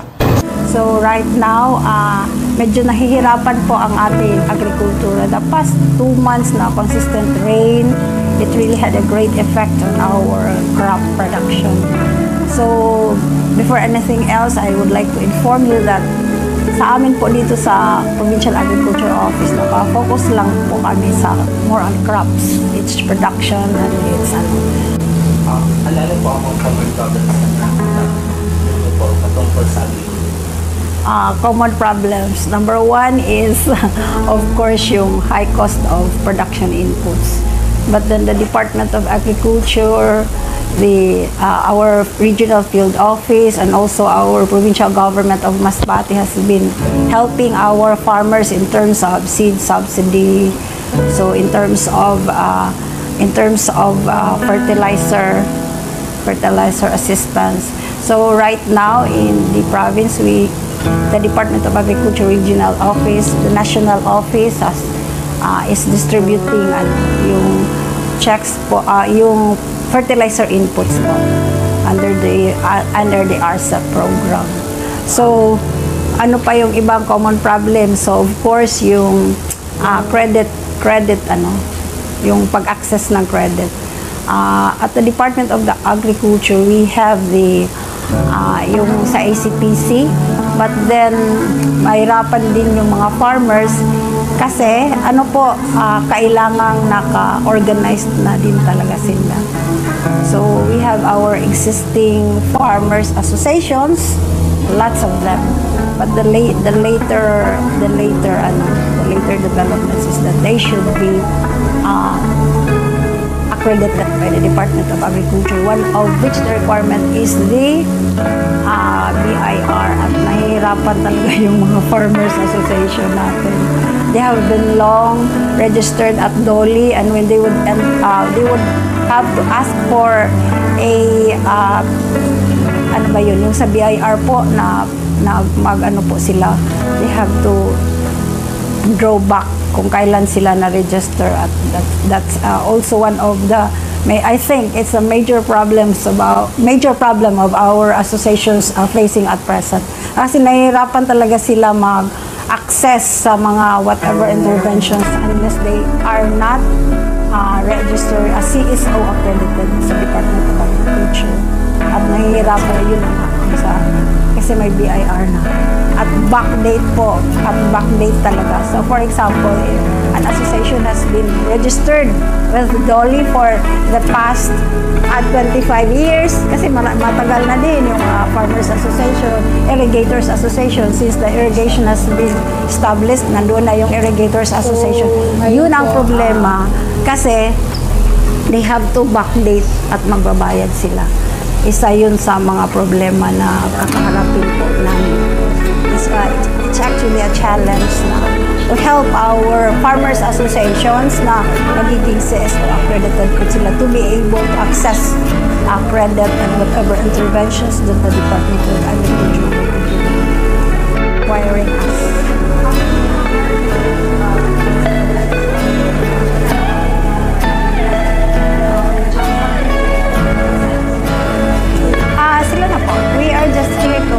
Give them the initial seeds, of course, with the Department of Agriculture and hope uh, paminsan meron din kami sa province. And, but then in terms of uh, even sa production, we could only give them technical assistance if they would require us, if they would request us. But kung meron sila, wala din kami magagawa. Kung ano man yung gagawin nila doon, uh, we are just here to support whatever they Dulot po ba ito ng inflation rate na na-experience natin for the past few months? Yes, definitely napakataas po ng inflation rate. Ah, sa amin, na parang pumapayo ata sa 7, I think parang sa national is ang, ang ano talaga. So one of the things po na ano sa Masbate, we are expecting na higher talaga because we are an island province. So yung transportation cost will really add on to the production input cost. Kasi sa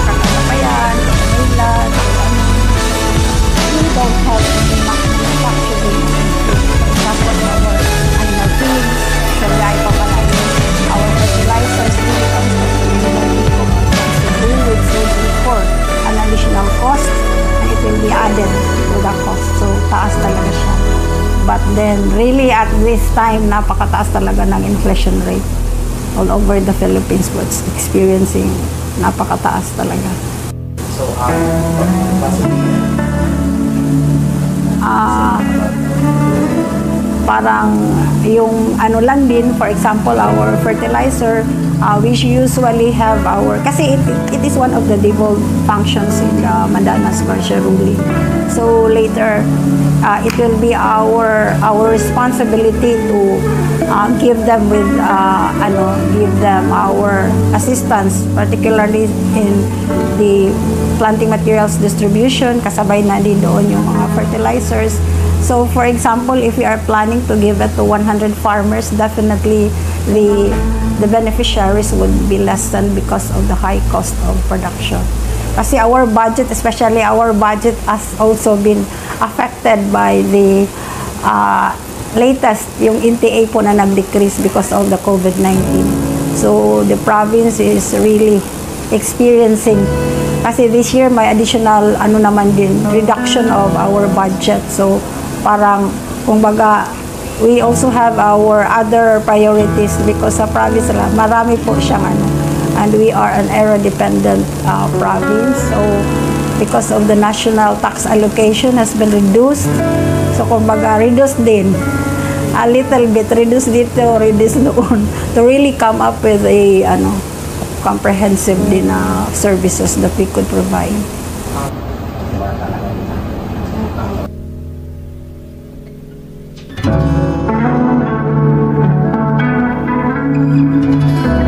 Estado ng livelihood dito sa Masbate is ah, karamihan po is ah, from farming, fishing, ah, meron din pong ilan na nagmimina, ah, meron din ah, negosyo. Pero dito po sa city may kita niyo ah, bilang ah, is, ah, sentro ng kalakalan at ah, ng probinsya ng Masbate, yung city po is ah, mas maraming ah, livelihood opportunities kumbaga kumpara sa ibang munisipyo. Ah, okay, sir. Um, na when to go yung about prudential, one of the main livelihood po dito sa city is yung minahan.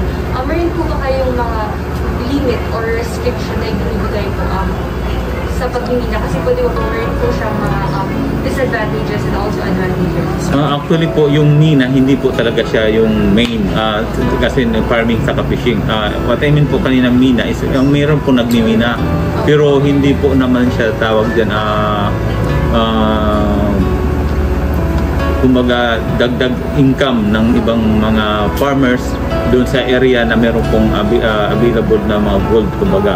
Pero yun po isa sa mga pinagkukunan ko sa ng mga Uh, with regards po sa regulation, uh, yung nakasakop na barangay, kasi hindi naman po siya large scale, mga small uh, scale miners lang naman po. Uh, yung barangay na mismo ang nag-regulate na maiwasan yung mga uh, pagsira ng mga, uh, mga kalikasan na talagang uh, merong ad- adverse effect sa hindi lang sa kanil sa mga nagmimina kundi sa lahat na posibleng ma maapektuhan kung sakali.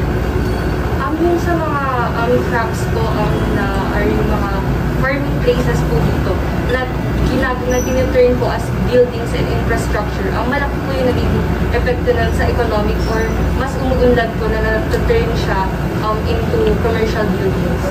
Uh, sa ngayon po yung sa dito sa aking observation yung aming uh, syudad is uh, patuloy po yung pag-encourage ng mga investors na pumasok dito lalo na po uh, ang syudad ng Masbate is makikita natin is potential place para sa business lalo na sa mga industrial. Kasi nga uh, yung sa Cupra uh, marami kaming uh, raw materials or halos uh, Interbicol isa kami sa pinakamataas na nagpo-produce ng Cupra uh, kaya ang sa mga industrial uh, companies is will uh, open po ang city para then with regards naman po sa lugar o sa, sa area marami pa pong uh, available uh, land na po pwedeng uh, pagtayuan ng mga industriya ng halimbawa sa pagtatanim mo sa pagkopra o ano uh, any related uh, livelihood opportunities sa tumaga.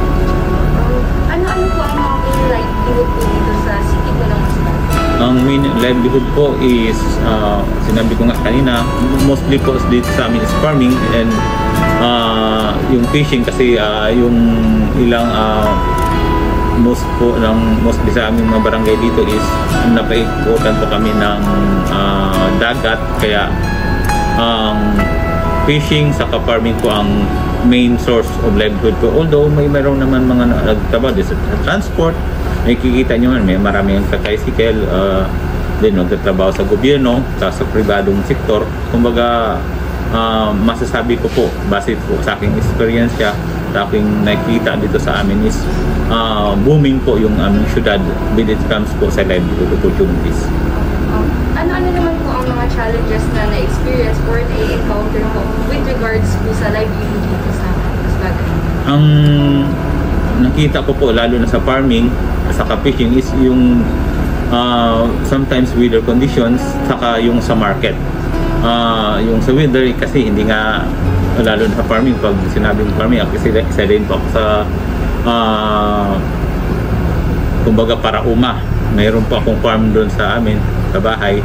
Uh, kanina nga nagbaba kami ng produkto. Uh, medyo nung tinay ko ng bantay ko po yung nag, nag uh, tenant ko is na magbenta doon sa tawag yun yung middleman mas mababa yung yung uh, bili. Pero trinay po namin na dalhin dito sa city uh, sana hopefully po ma maging maayos yung market niya. Ang problema lang po kasi is uh, ang par ang sa pag-farming is yung weather conditions saka yung market. Uh, sa ngayon po uh, tinatry po namin na maging competitive po yung par, uh, uh, market po. Um, ano-ano naman yung mga steps, uh, mga steps or mga solution po na isinasagawa po para umunlad po ang economy or livelihood po ng mga tao po dito sa city po? Uh, marami pong programs ang gobyerno syudad, uh, lalo na po sa amin, yung especially po sa amin sa uh, sa cooperative, uh, may mga programa kami na para uh, tulungan yung mga co- assisted cooperatives, organized cooperative ng gobyerno syudad, lalo na po sa financial, uh, nagpapautang po ang gobyerno syudad sa mas mababang uh, interest. Tapos po, uh, yung mga produkto ng mga uh, cooperatives po namin is tinutulungan po namin na ma-market po nila sa mas magandang presyo po lalo na yung meron kaming kooperatiba dito na merong nag-aalaga ng uh, baka. Uh, doon po tinutulungan namin sila na makahanap po ng uh, mas magandang o maayos na buyer na mas magbibigay po sa, sa kanila ng income. Uh, yung sa Ah, iba naman po namin kooperatiba, meron naman po kaming ah, sidecar livelihood assistance na para po yung may mga TODA aside sa loan, meron po silang ah, pwedeng makuhanan ng kung kulang po yung pambili nilang sidecar para mas maganda po yung ah, tawag diyan yung kanilang ah, hanap buhay na hindi sila mahirapan na mag-uutang pa sa mga sa mga usurious ah, individual para na mas mataas ang interest. Dito po sa gobyerno ng syudad, lalo na yung sa sidecar po namin, ah, pinapautang po namin yon ah, within 2 years without interest. Ah, basta po ah, kailangan lang mo maging membro ng isang kooperatiba. Meron po ba kayong mga future plans or goal po um, na na, na visualize nyo po na ma-achieve? Um, for instance po, in 10 years um, sa Ay, opo, meron po. Ah, future plans naman or way ahead po is marami. Kami po sa opisina ah, where ah, ah, dreaming ko na yung mga cooperative namin, yung mga primary cooperative namin is mag, ah, mag-level up from micro to medium. Kumbaga tumaas yung ah, asset nila.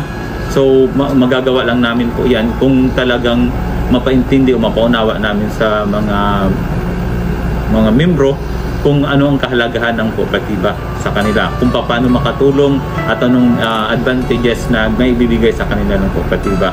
Tapos po, ah, aside pa po dyan, ah, nililink namin sila sa mga national government agencies with regards po na may mga pla, ah, may mga programs din po para mas ma, makakuha sila ng additional fund or makakuha po ng mga farm inputs and machineries lalo na po yung mga farmers Mayo po na hapon sa ato na tanan.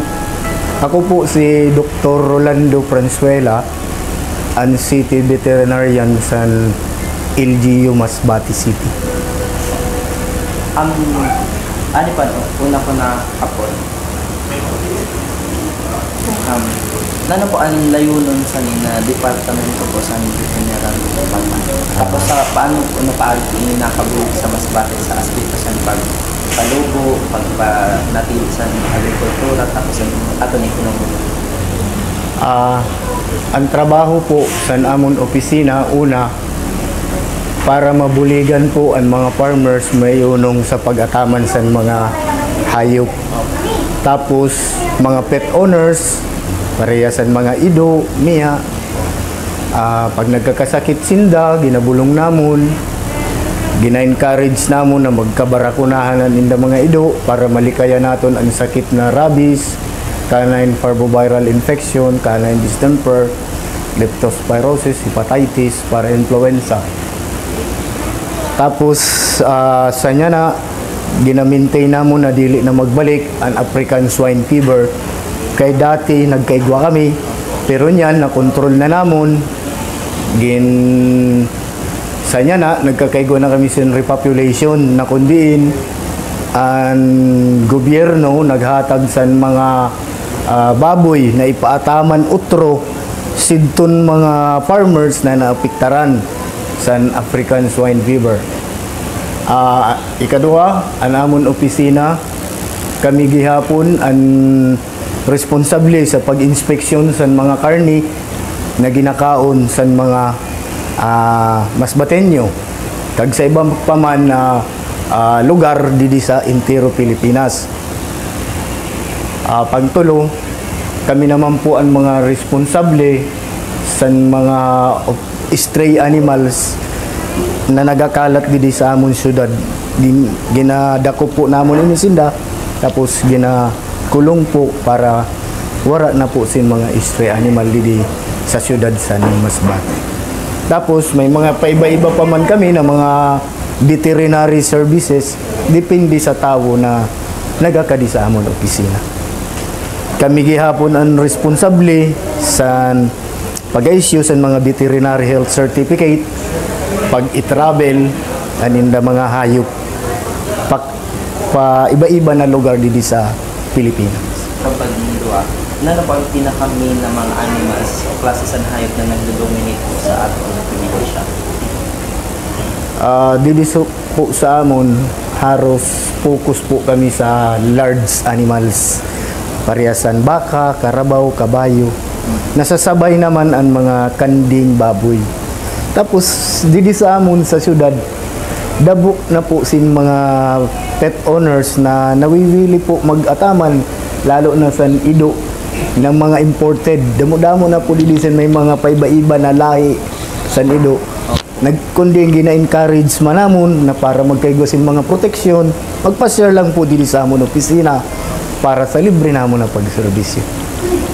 Tapos, um, na, na po ang i-roll sa o, obligasyon sa mga hayop na ginagamit po baga pag nag-rodeo like ang baka, mga ano, kabalo. Actually, ang rodeo, private siya. Dati, na, nasabay man ako sa rodeo. Ang naging papel sa veterinaryo,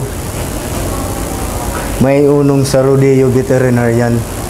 Dili po mangyayari ang rodeo kung wala sin rodeo veterinarians. Tatamaon sinda sa Animal Welfare Act. Ang veterinaryo may mga form ina sinda na ginapildapan, a-applyan na magkakaigwa sin rodeo sa Masbate. Pag wala po sin rodeo veterinarian, udong po ina. Pwede sinda dakupunsan sa animal welfare. Kaya kami ang usad na dakon responsibilidad pagabot sa rodeo. Amo lang po papilda sa veterinarians. Um, nano po dito mga hayop ang gina ah, export po niyo tapos nakabulog talaga sila po sa ekonomiya, sa. Baka po. Baka, karabaw, kabayo. Ah, kanding. Um, ginaano po yun sa mga ano po? Ah, an ah, quality didi sa mga baka sa amon is beef purposes for mga beef purposes sila. Tapos an an mga kanding pagkaon man siya gapon consum human consumption siya gapon an mga baboy mo man. Pero sa niya na ah, may mga istrikto niya na paglabasan mga hayop dahil siningay ng mga sakit pareha sa manok medyo istrikto niya na kami dahil sa avian influenza. Dili po kami basta-basta dito nagapasulod sa mga manok. Kung wala talaga sin hal ah, shipping permit hali sa Bureau of Animal Industry. Ako man ang mga baboy dapat dapat may mga agigyapon sa mga proseso sa mga laboratory na ma-detect na negative sila sa African swine fever.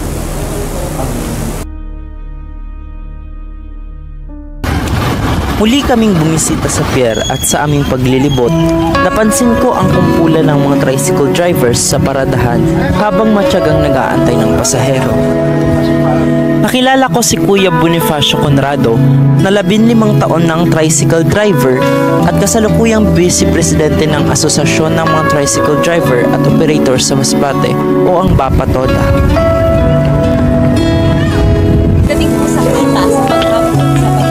sa maghapon, depende sa ano, pag masipag ka, medyo malaki-laki yung kita. Pero kung patulog-tulog, mahina talaga yung kita eh. Ano po ang pinakamataas niyo pong ano sa isang araw? Ah, isang libo. May pamilya ka po. Opo. Ilan po yung anak niyo? Ay, kalahati. Kalahating dosina. Ah, kalahati. Ah, lima. Yung kinikita niyo po ay sapat lang po para sa pang-araw-araw. Ah, kina, ano, kaya pinakakasya. Ano naman yung experience po as tricycle driver? Ah, mahirap pero masaya. Marami kang kaibigan. Ah, mga ito mga kapwa namin mga driver.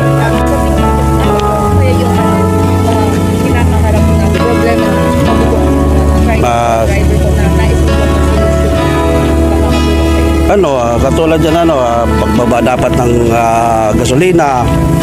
Tapos ah, yung pamasahe kailangan papaitasan. Kasi hindi hindi sapat yung ano eh.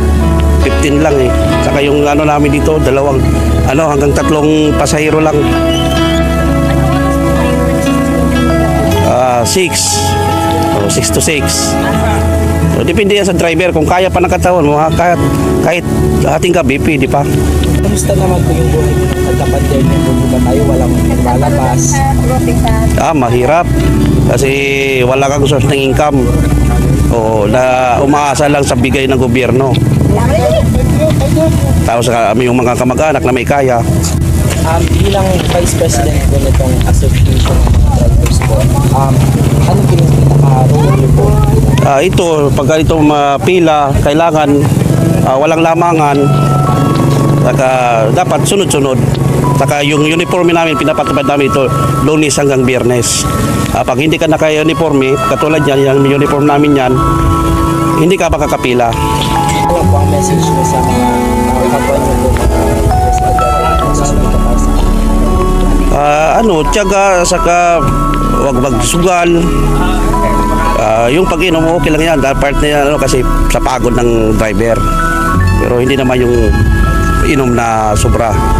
Tapos ito, uh, pag mag-away sa kalsada, dapat mahabang pasensya. Ah, mag-iingat lagi sa pagmamaniho. Sa maikling panahon na pakikipag-usap namin kay Kuya Bonifacio, marami kaming natutuhan hindi lang sa kanyang buhay, kundi maging sa kanyang mga responsibilidad bilang vice presidente ng kanilang asosasyon at ang mga problemang kanilang hinaharap. Napatunayan din namin na talagang mahalaga ang mga tuntunin at regulasyon kahit nasa maliliit na organisasyon katulad ng Bapatoda upang mapanatili ang kaayusan at mahalaga ding matutuhan ng bawat isa ang pag-conform sa mga tuntuning ito upang hindi maging isang deviant.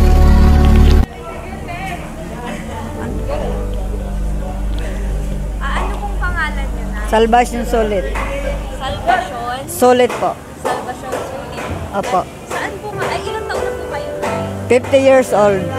Na, ito po ba mga tinitinda nyo? Like, kayo po yung nag-uli na ito? Or Hindi. Binibili lang namin sa ano, mangingisda. malaki naman po ang kita. Depende kung maganda ang ano, isda. Gano'n na po kayo matagal nagtitinda po? Ano, mag... Since birth na kasi, oo, dito na kami lumaki. Opo.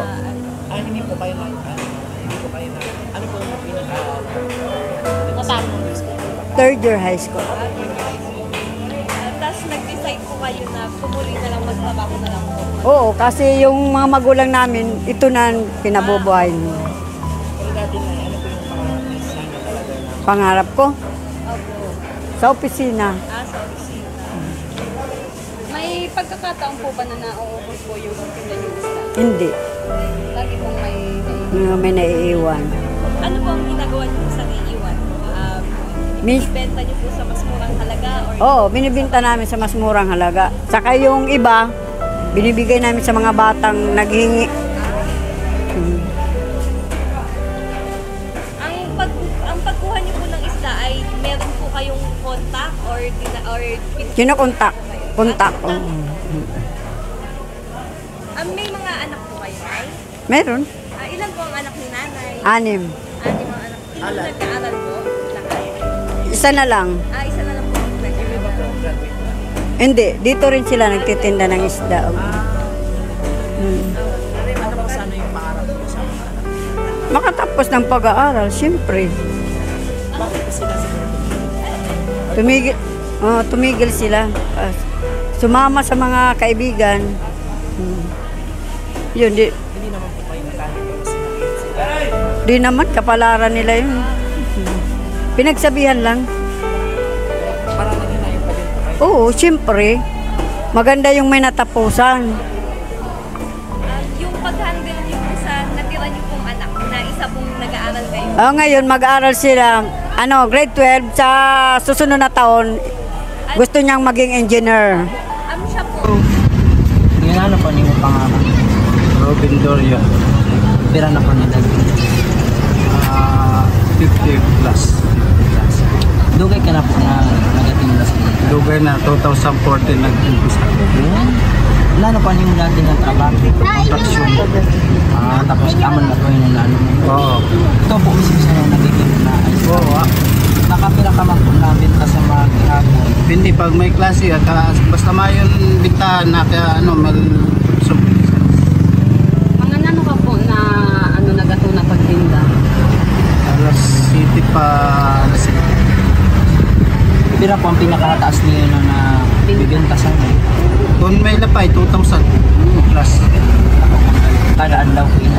Oo, kada adlaw. Pag may lapay lang, mas may okasyon na.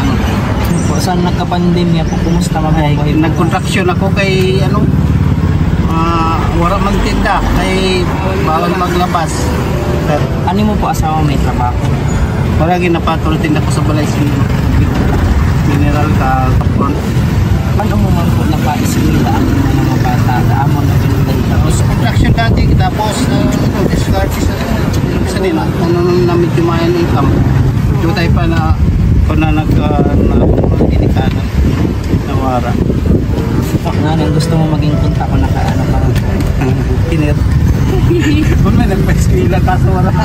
Ang na naman po ang masasabi mo sa ito ng mga ginamaliit laan mga wara.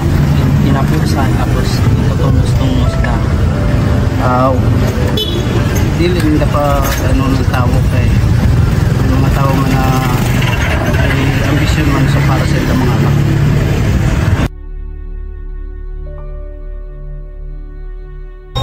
Hi po, my name is uh, Troy Rans Quizon. Uh, I am 18 and I am uh, in uh, General Academic Strand.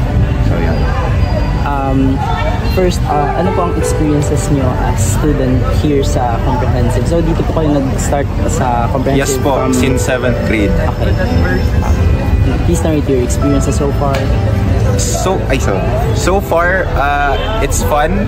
Uh, this school is very competitive, so um, magkakaroon ka rin ng drive to uh, pursue uh, I mean pursue uh, to ano to not procrastinate no magkakaroon ka rin ng drive na magsipag dahil uh, ma-inspire ka rin sa iba na uy they're ano they're doing great in their studies and their grades they're excelling so you need to excel also you need to ano top it up or you do even better so yun So, um, how, or ano yung situation nyo nung pandemic?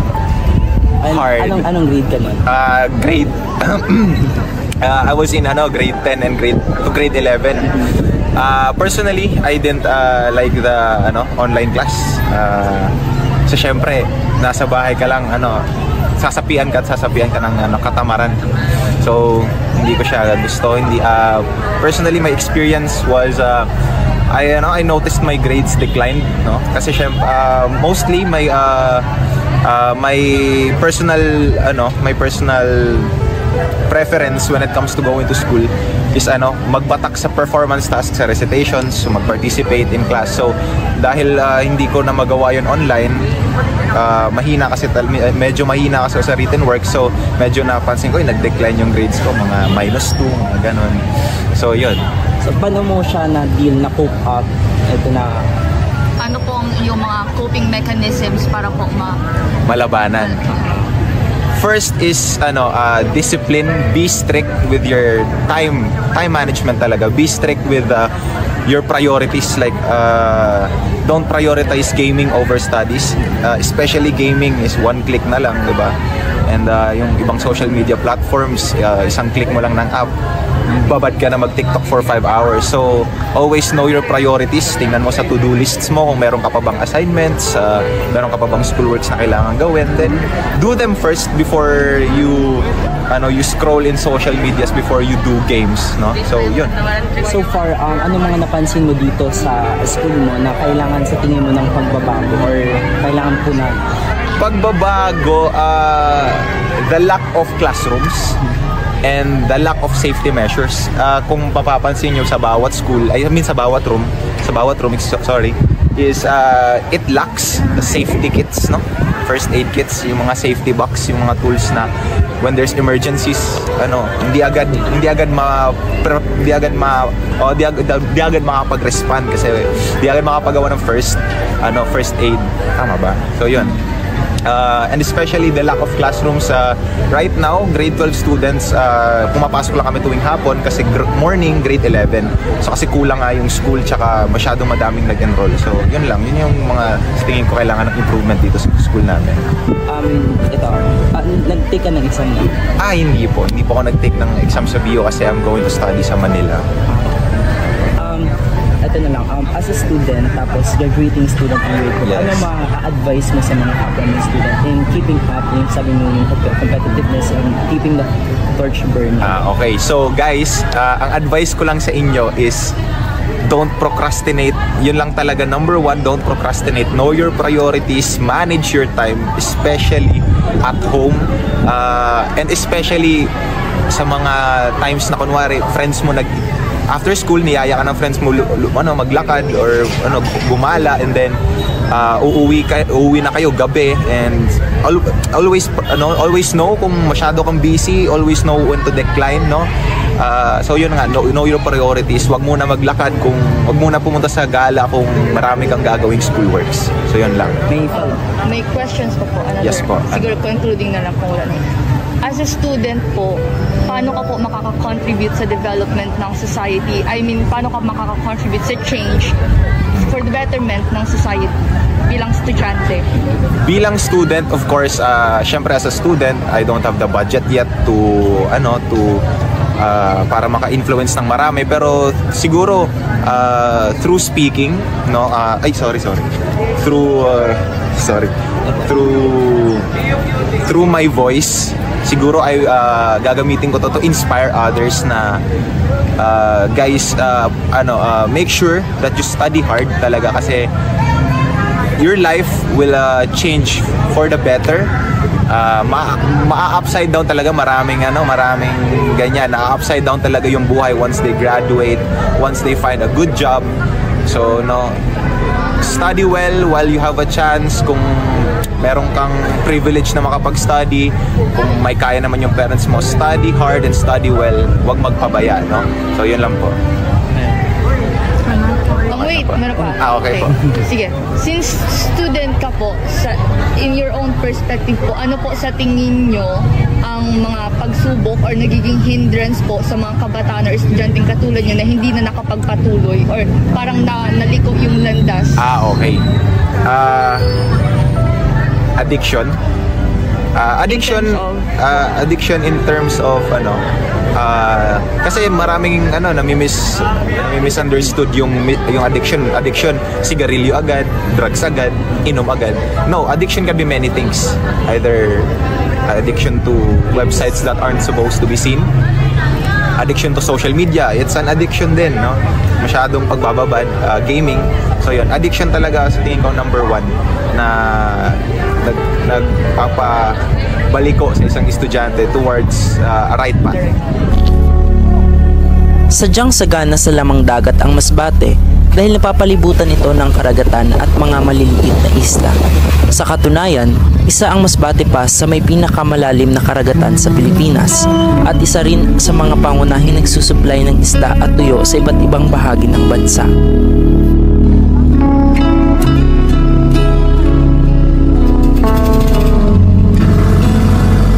Noong sumakay kami ng bangka papunta sa Kamantigi, naalala ko ang mga batang nakita ko na tumutulong sa pangingisda at ang iba naman ay kargador ng sako-sakong bigas na dinadala sa bangkang Dikati o lansya kung tawagin.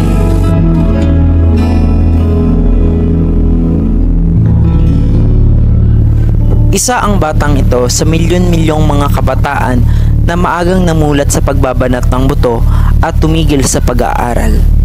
Sinakripisyo nila ang kanilang kinabukasan upang matustusan lang ang pangangailangan ng kanilang pamilya at pangkain sa araw-araw. Hindi nila iniinda ang init ng araw, laki ng mga alon, at bigat ng kanilang pinapasan. Sa warang ng ulo, baka nagbugas. Ano ginhatag mo man sa mama mo? Hindi mo hindi gamit para sa imo ano lang. Halimbawa, mabakal kasi yung sapatos. Ay, hindi naman ako nag-eskwela. Ako sabi mo, grade 6 ka na. Sa nang dati, grade 6 ka na. Nagudong ka? Ah, okay. Long distance lang lang. Pero kami na magkarang. At dito po sa sa ibang ano, magurang ko. Ibang bansa. Ang ah, sa Manila lang. May asawa na siya. nagudong? Kasano ka nagudong pag-eskwela?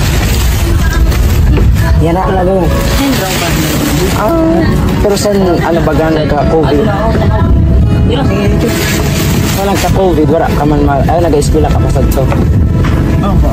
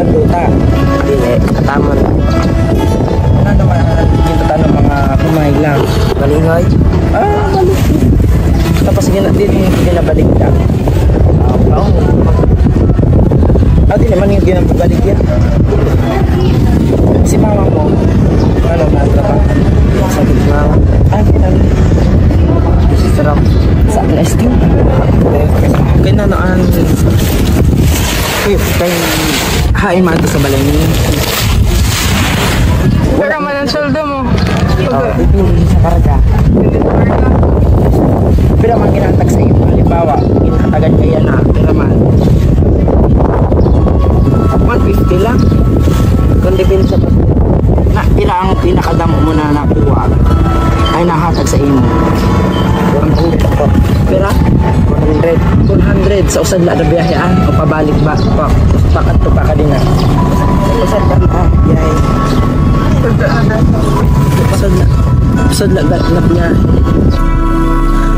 Bahala ako dahil kahit na merong batas na nakasaad sa konstitusyon ng Pilipinas na nagbabawal sa child labor o ang RA 9231, lagana pa rin ang ganitong kalakalan lalo na sa malalayang lugar sa Pilipinas. At ayon nga sa Philippine Statistics Authority noong 2021, umabot ng 1.37 million ang child labor cases edad 5 hanggang 17 anyos. Naawa ako sa sitwasyon ng batang ito nang dahil sa kalagayan ng kanyang mga magulang, napilitan itong makipagsapalaran at sumuong sa alon ng buhay na iraos lang ang pag-aaral, pagtulong sa mga magulang at pagpapagamot sa kanyang ina. Siya ang naging larawan ng determinasyon at pagpupursigi sa kabila ng hirap ng buhay. I see Mr. Noel Long Lugronio, ang chief ng CID. CID is Curriculum Implementation Division. It pertains to academics. ng buong Masbate po, probinsya Masbate. City ng Ah, Masbate. Ah, okay, sir. Um, ito po yung first question namin po. Um, yung sa, regarding sa literacy rate po, ito na po yung ano, um, Ayun, binigyan ko ngayon ng hard copy. Sige, sir. Um, number two question po is, kumusta po ang educational system sa Masbate?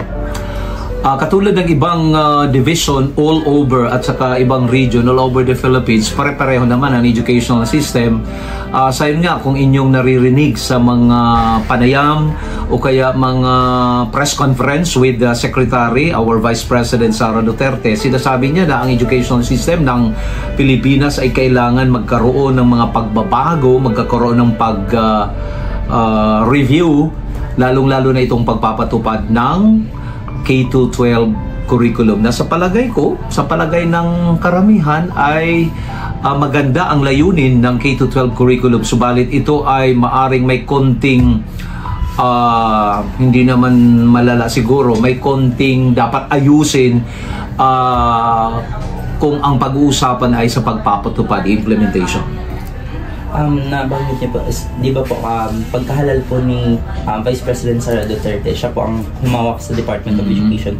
So far, so far po, meron po bang mga pagbabago na nangyari pa unti-unti sa DepEd? Ah, sa kanyang ah, ipinahayag sa kanyang ah, education ah, agenda mga month ago na pakinggan at napanood namin mga taga Department of Education na ang kanyang sa aming pakiwari no ah, talagang nire-repaso niya lahat ng ah, ah, ano to? Uh, kalalim-laliman, kailaliman ng ah, department ng sistema ng ah, kagawarang edukasyon. At ah, hindi natin masasabi na talagang pagbabago kundi maganda naman yun na nakita niya na umpisahan sa pag, ah, pagpa, pag, ah, pagsasaayos ng pagpapatupad. Napakaganda ng ating mga programs and projects sa Department of Education. Subalit, sabi nga niya, at sa tingin din namin, ang problema ay nasa pagpapatupad.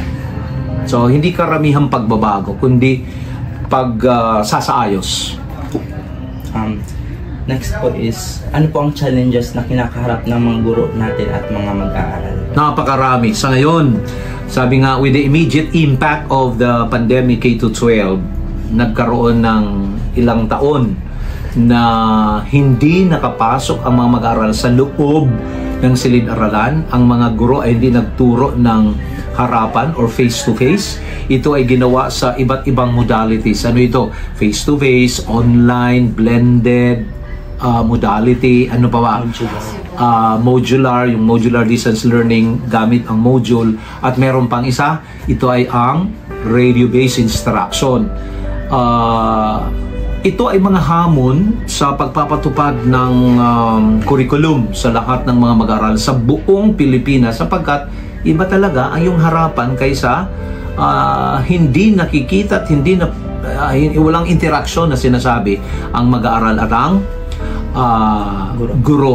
Kung kaya isang hamon ngayon na kinakaharap ng uh, kagawaran edukasyon subalit ay ito na ito ang tinatawag nating marami tayong mga nawalang uh, karunungan, learning losses on the part of the teacher, on the part of the learners.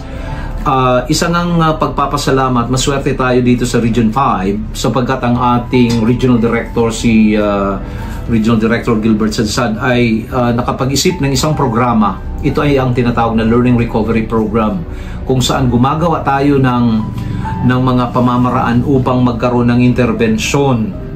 Uh, ano ang pwedeng gawin ng lahat ng paaralan sa buong Region 5 upang mabalik yung mga nawala?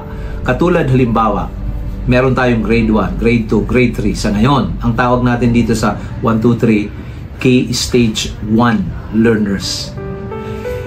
Yung grade 3, ibig sabihin, kung nag face-to-face sila ngayon, hindi sila pumasok sa paaralan ng grade 2. Yung grade 2 naman, hindi sila pumasok sa paaralan ng grade 1. Ganon din ang parang chain reaction, di ba? Lahat sila ng grade level. So, sa ngayon, uh, iba yung pagtuturo, sabi ko nga kanina na hindi harapan. Iba yung ipinapadalang module at ang mga magulang o kapatid, guardians ang katulong nila sa pag-aaral. Uh, it's very evident na napakalaking nawala pagkakaiba.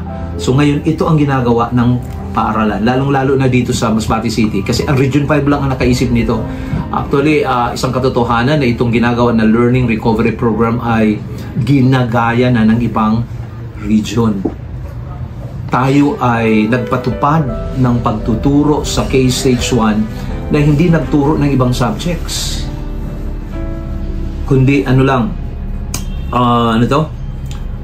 Uh, math, Filipino at English at lalong-lalo na sa reading dahil napakarami nating mag-aaral na hindi marunong o kaya napakabagal magbasa.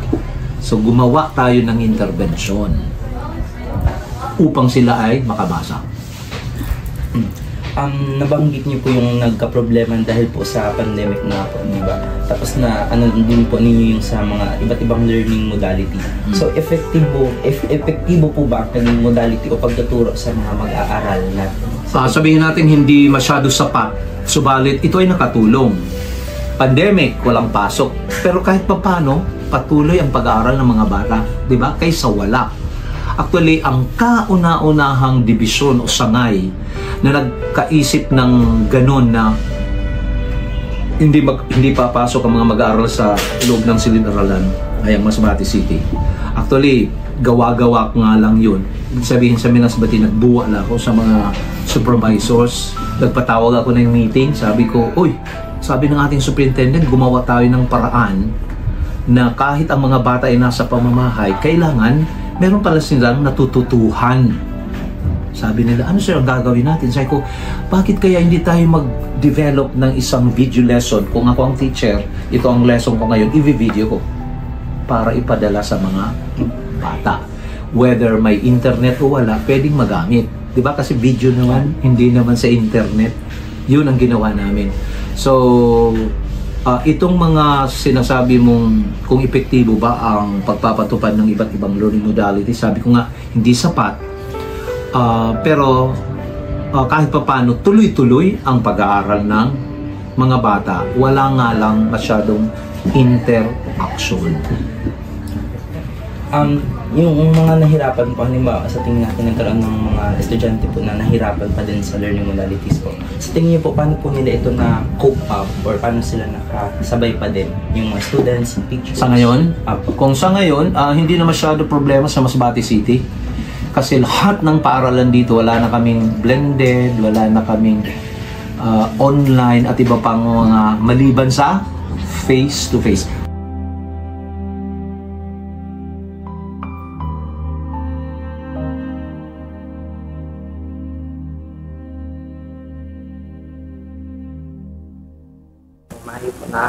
Mm. Lalo po ano po, kumusta po ang kasalukuyang estado sa atin? Ay, managa. Nanoan kasalukuyan na estado sa Masbate. Ang Masbate is dili natin masabi na kaupod na sa pinakapobre na mga probinsya sa entero Pilipinas. Ah, actually, sa una, na pa, bago mag-impod si governor ko, nakasabay sa ah, among the poorest sa una. Pira ka dekada naglabay, 20, uh, two decades ago, Masbate has once became uh, one of the poorest in the poorest provinces of the Philippines, you know. But then, uh, by the time of uh, the late uh, Governor uh, Rizalina Lanete, before bagan ada kita sa rank rank uh, 9, sugod sina. Pagingkod ni Governor Lanete, in fairness to Governor Lanete, former governor, we rank uh, 11. Sa pagingkod ni uh, former Governor Eliza Ulgaco, we rank 13th. No? And then when Governor Antonio Coy stepped in as the governor, and then we are out of the 20 poorest provinces in the Philippines, in the country. And that record can be verified in the Provincial Planning and Development Office. So we have the decreased, uh, decreasing, continuously decreasing poverty incidence in the province of Masbate. We cannot say that Masbate province is now fully economically developed, but we are a developing province. We are in the track of uh, uh, making Masbate as one of a must-visit province in the country. Um, ano-ano ang mga issue dito o ano po ang mga issue na atin po sa Masbate na um, igwasin dako talaga ng impact sa pamumuhay sa natin mga pumuloy. An, an issue ka dili sa Masbate ang politika. Dili man sang kunano diti. Ang politika pag pinulitika mo ang mga tao, mapagal ang serbisyo pakadto sa tao. Kag ang tao dili nagaapiki sa gobyerno lalo kung kontrapartido. Amin ni ang nagpadugay anay sa pag-uswag sa Masbate sa pag-abante sa probinsya. Kaya si governor ang gusto niya udungon niya na politika. Mag-apiki sa gobyerno. Kay dahil adi ready an ayuda na ihatag sa administrasyon ni governor ko. Tama na ni ang politika. Dili magpili sa serbisyuhan. Dili kay kung nano na kolor amo an hatagan lang an iba na partido kay dahil kontra sa politika dili mahatagan papano man kun an imo kaupod sa usad na barangay na para pangisda lima lang na para pangisda. An 50 na para pangisda puro sa kontra sa imo. Dili mo hatagan sa farm implements fishing nets di ba? So we start by uniting the province. We stop over politicking uniting the province is the best move so that once and for all we can focus on generating more livelihood in the province of Masbate. We can create jobs we can generate more programs we can uh, give uh, every family the chance to educate bring their children to schools kasi may pangabuhay sinda.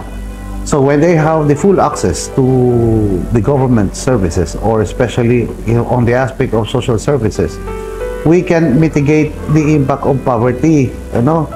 Ah, pwede naton maminusan ang impact sang kalisod kung sinda may pangabuhay.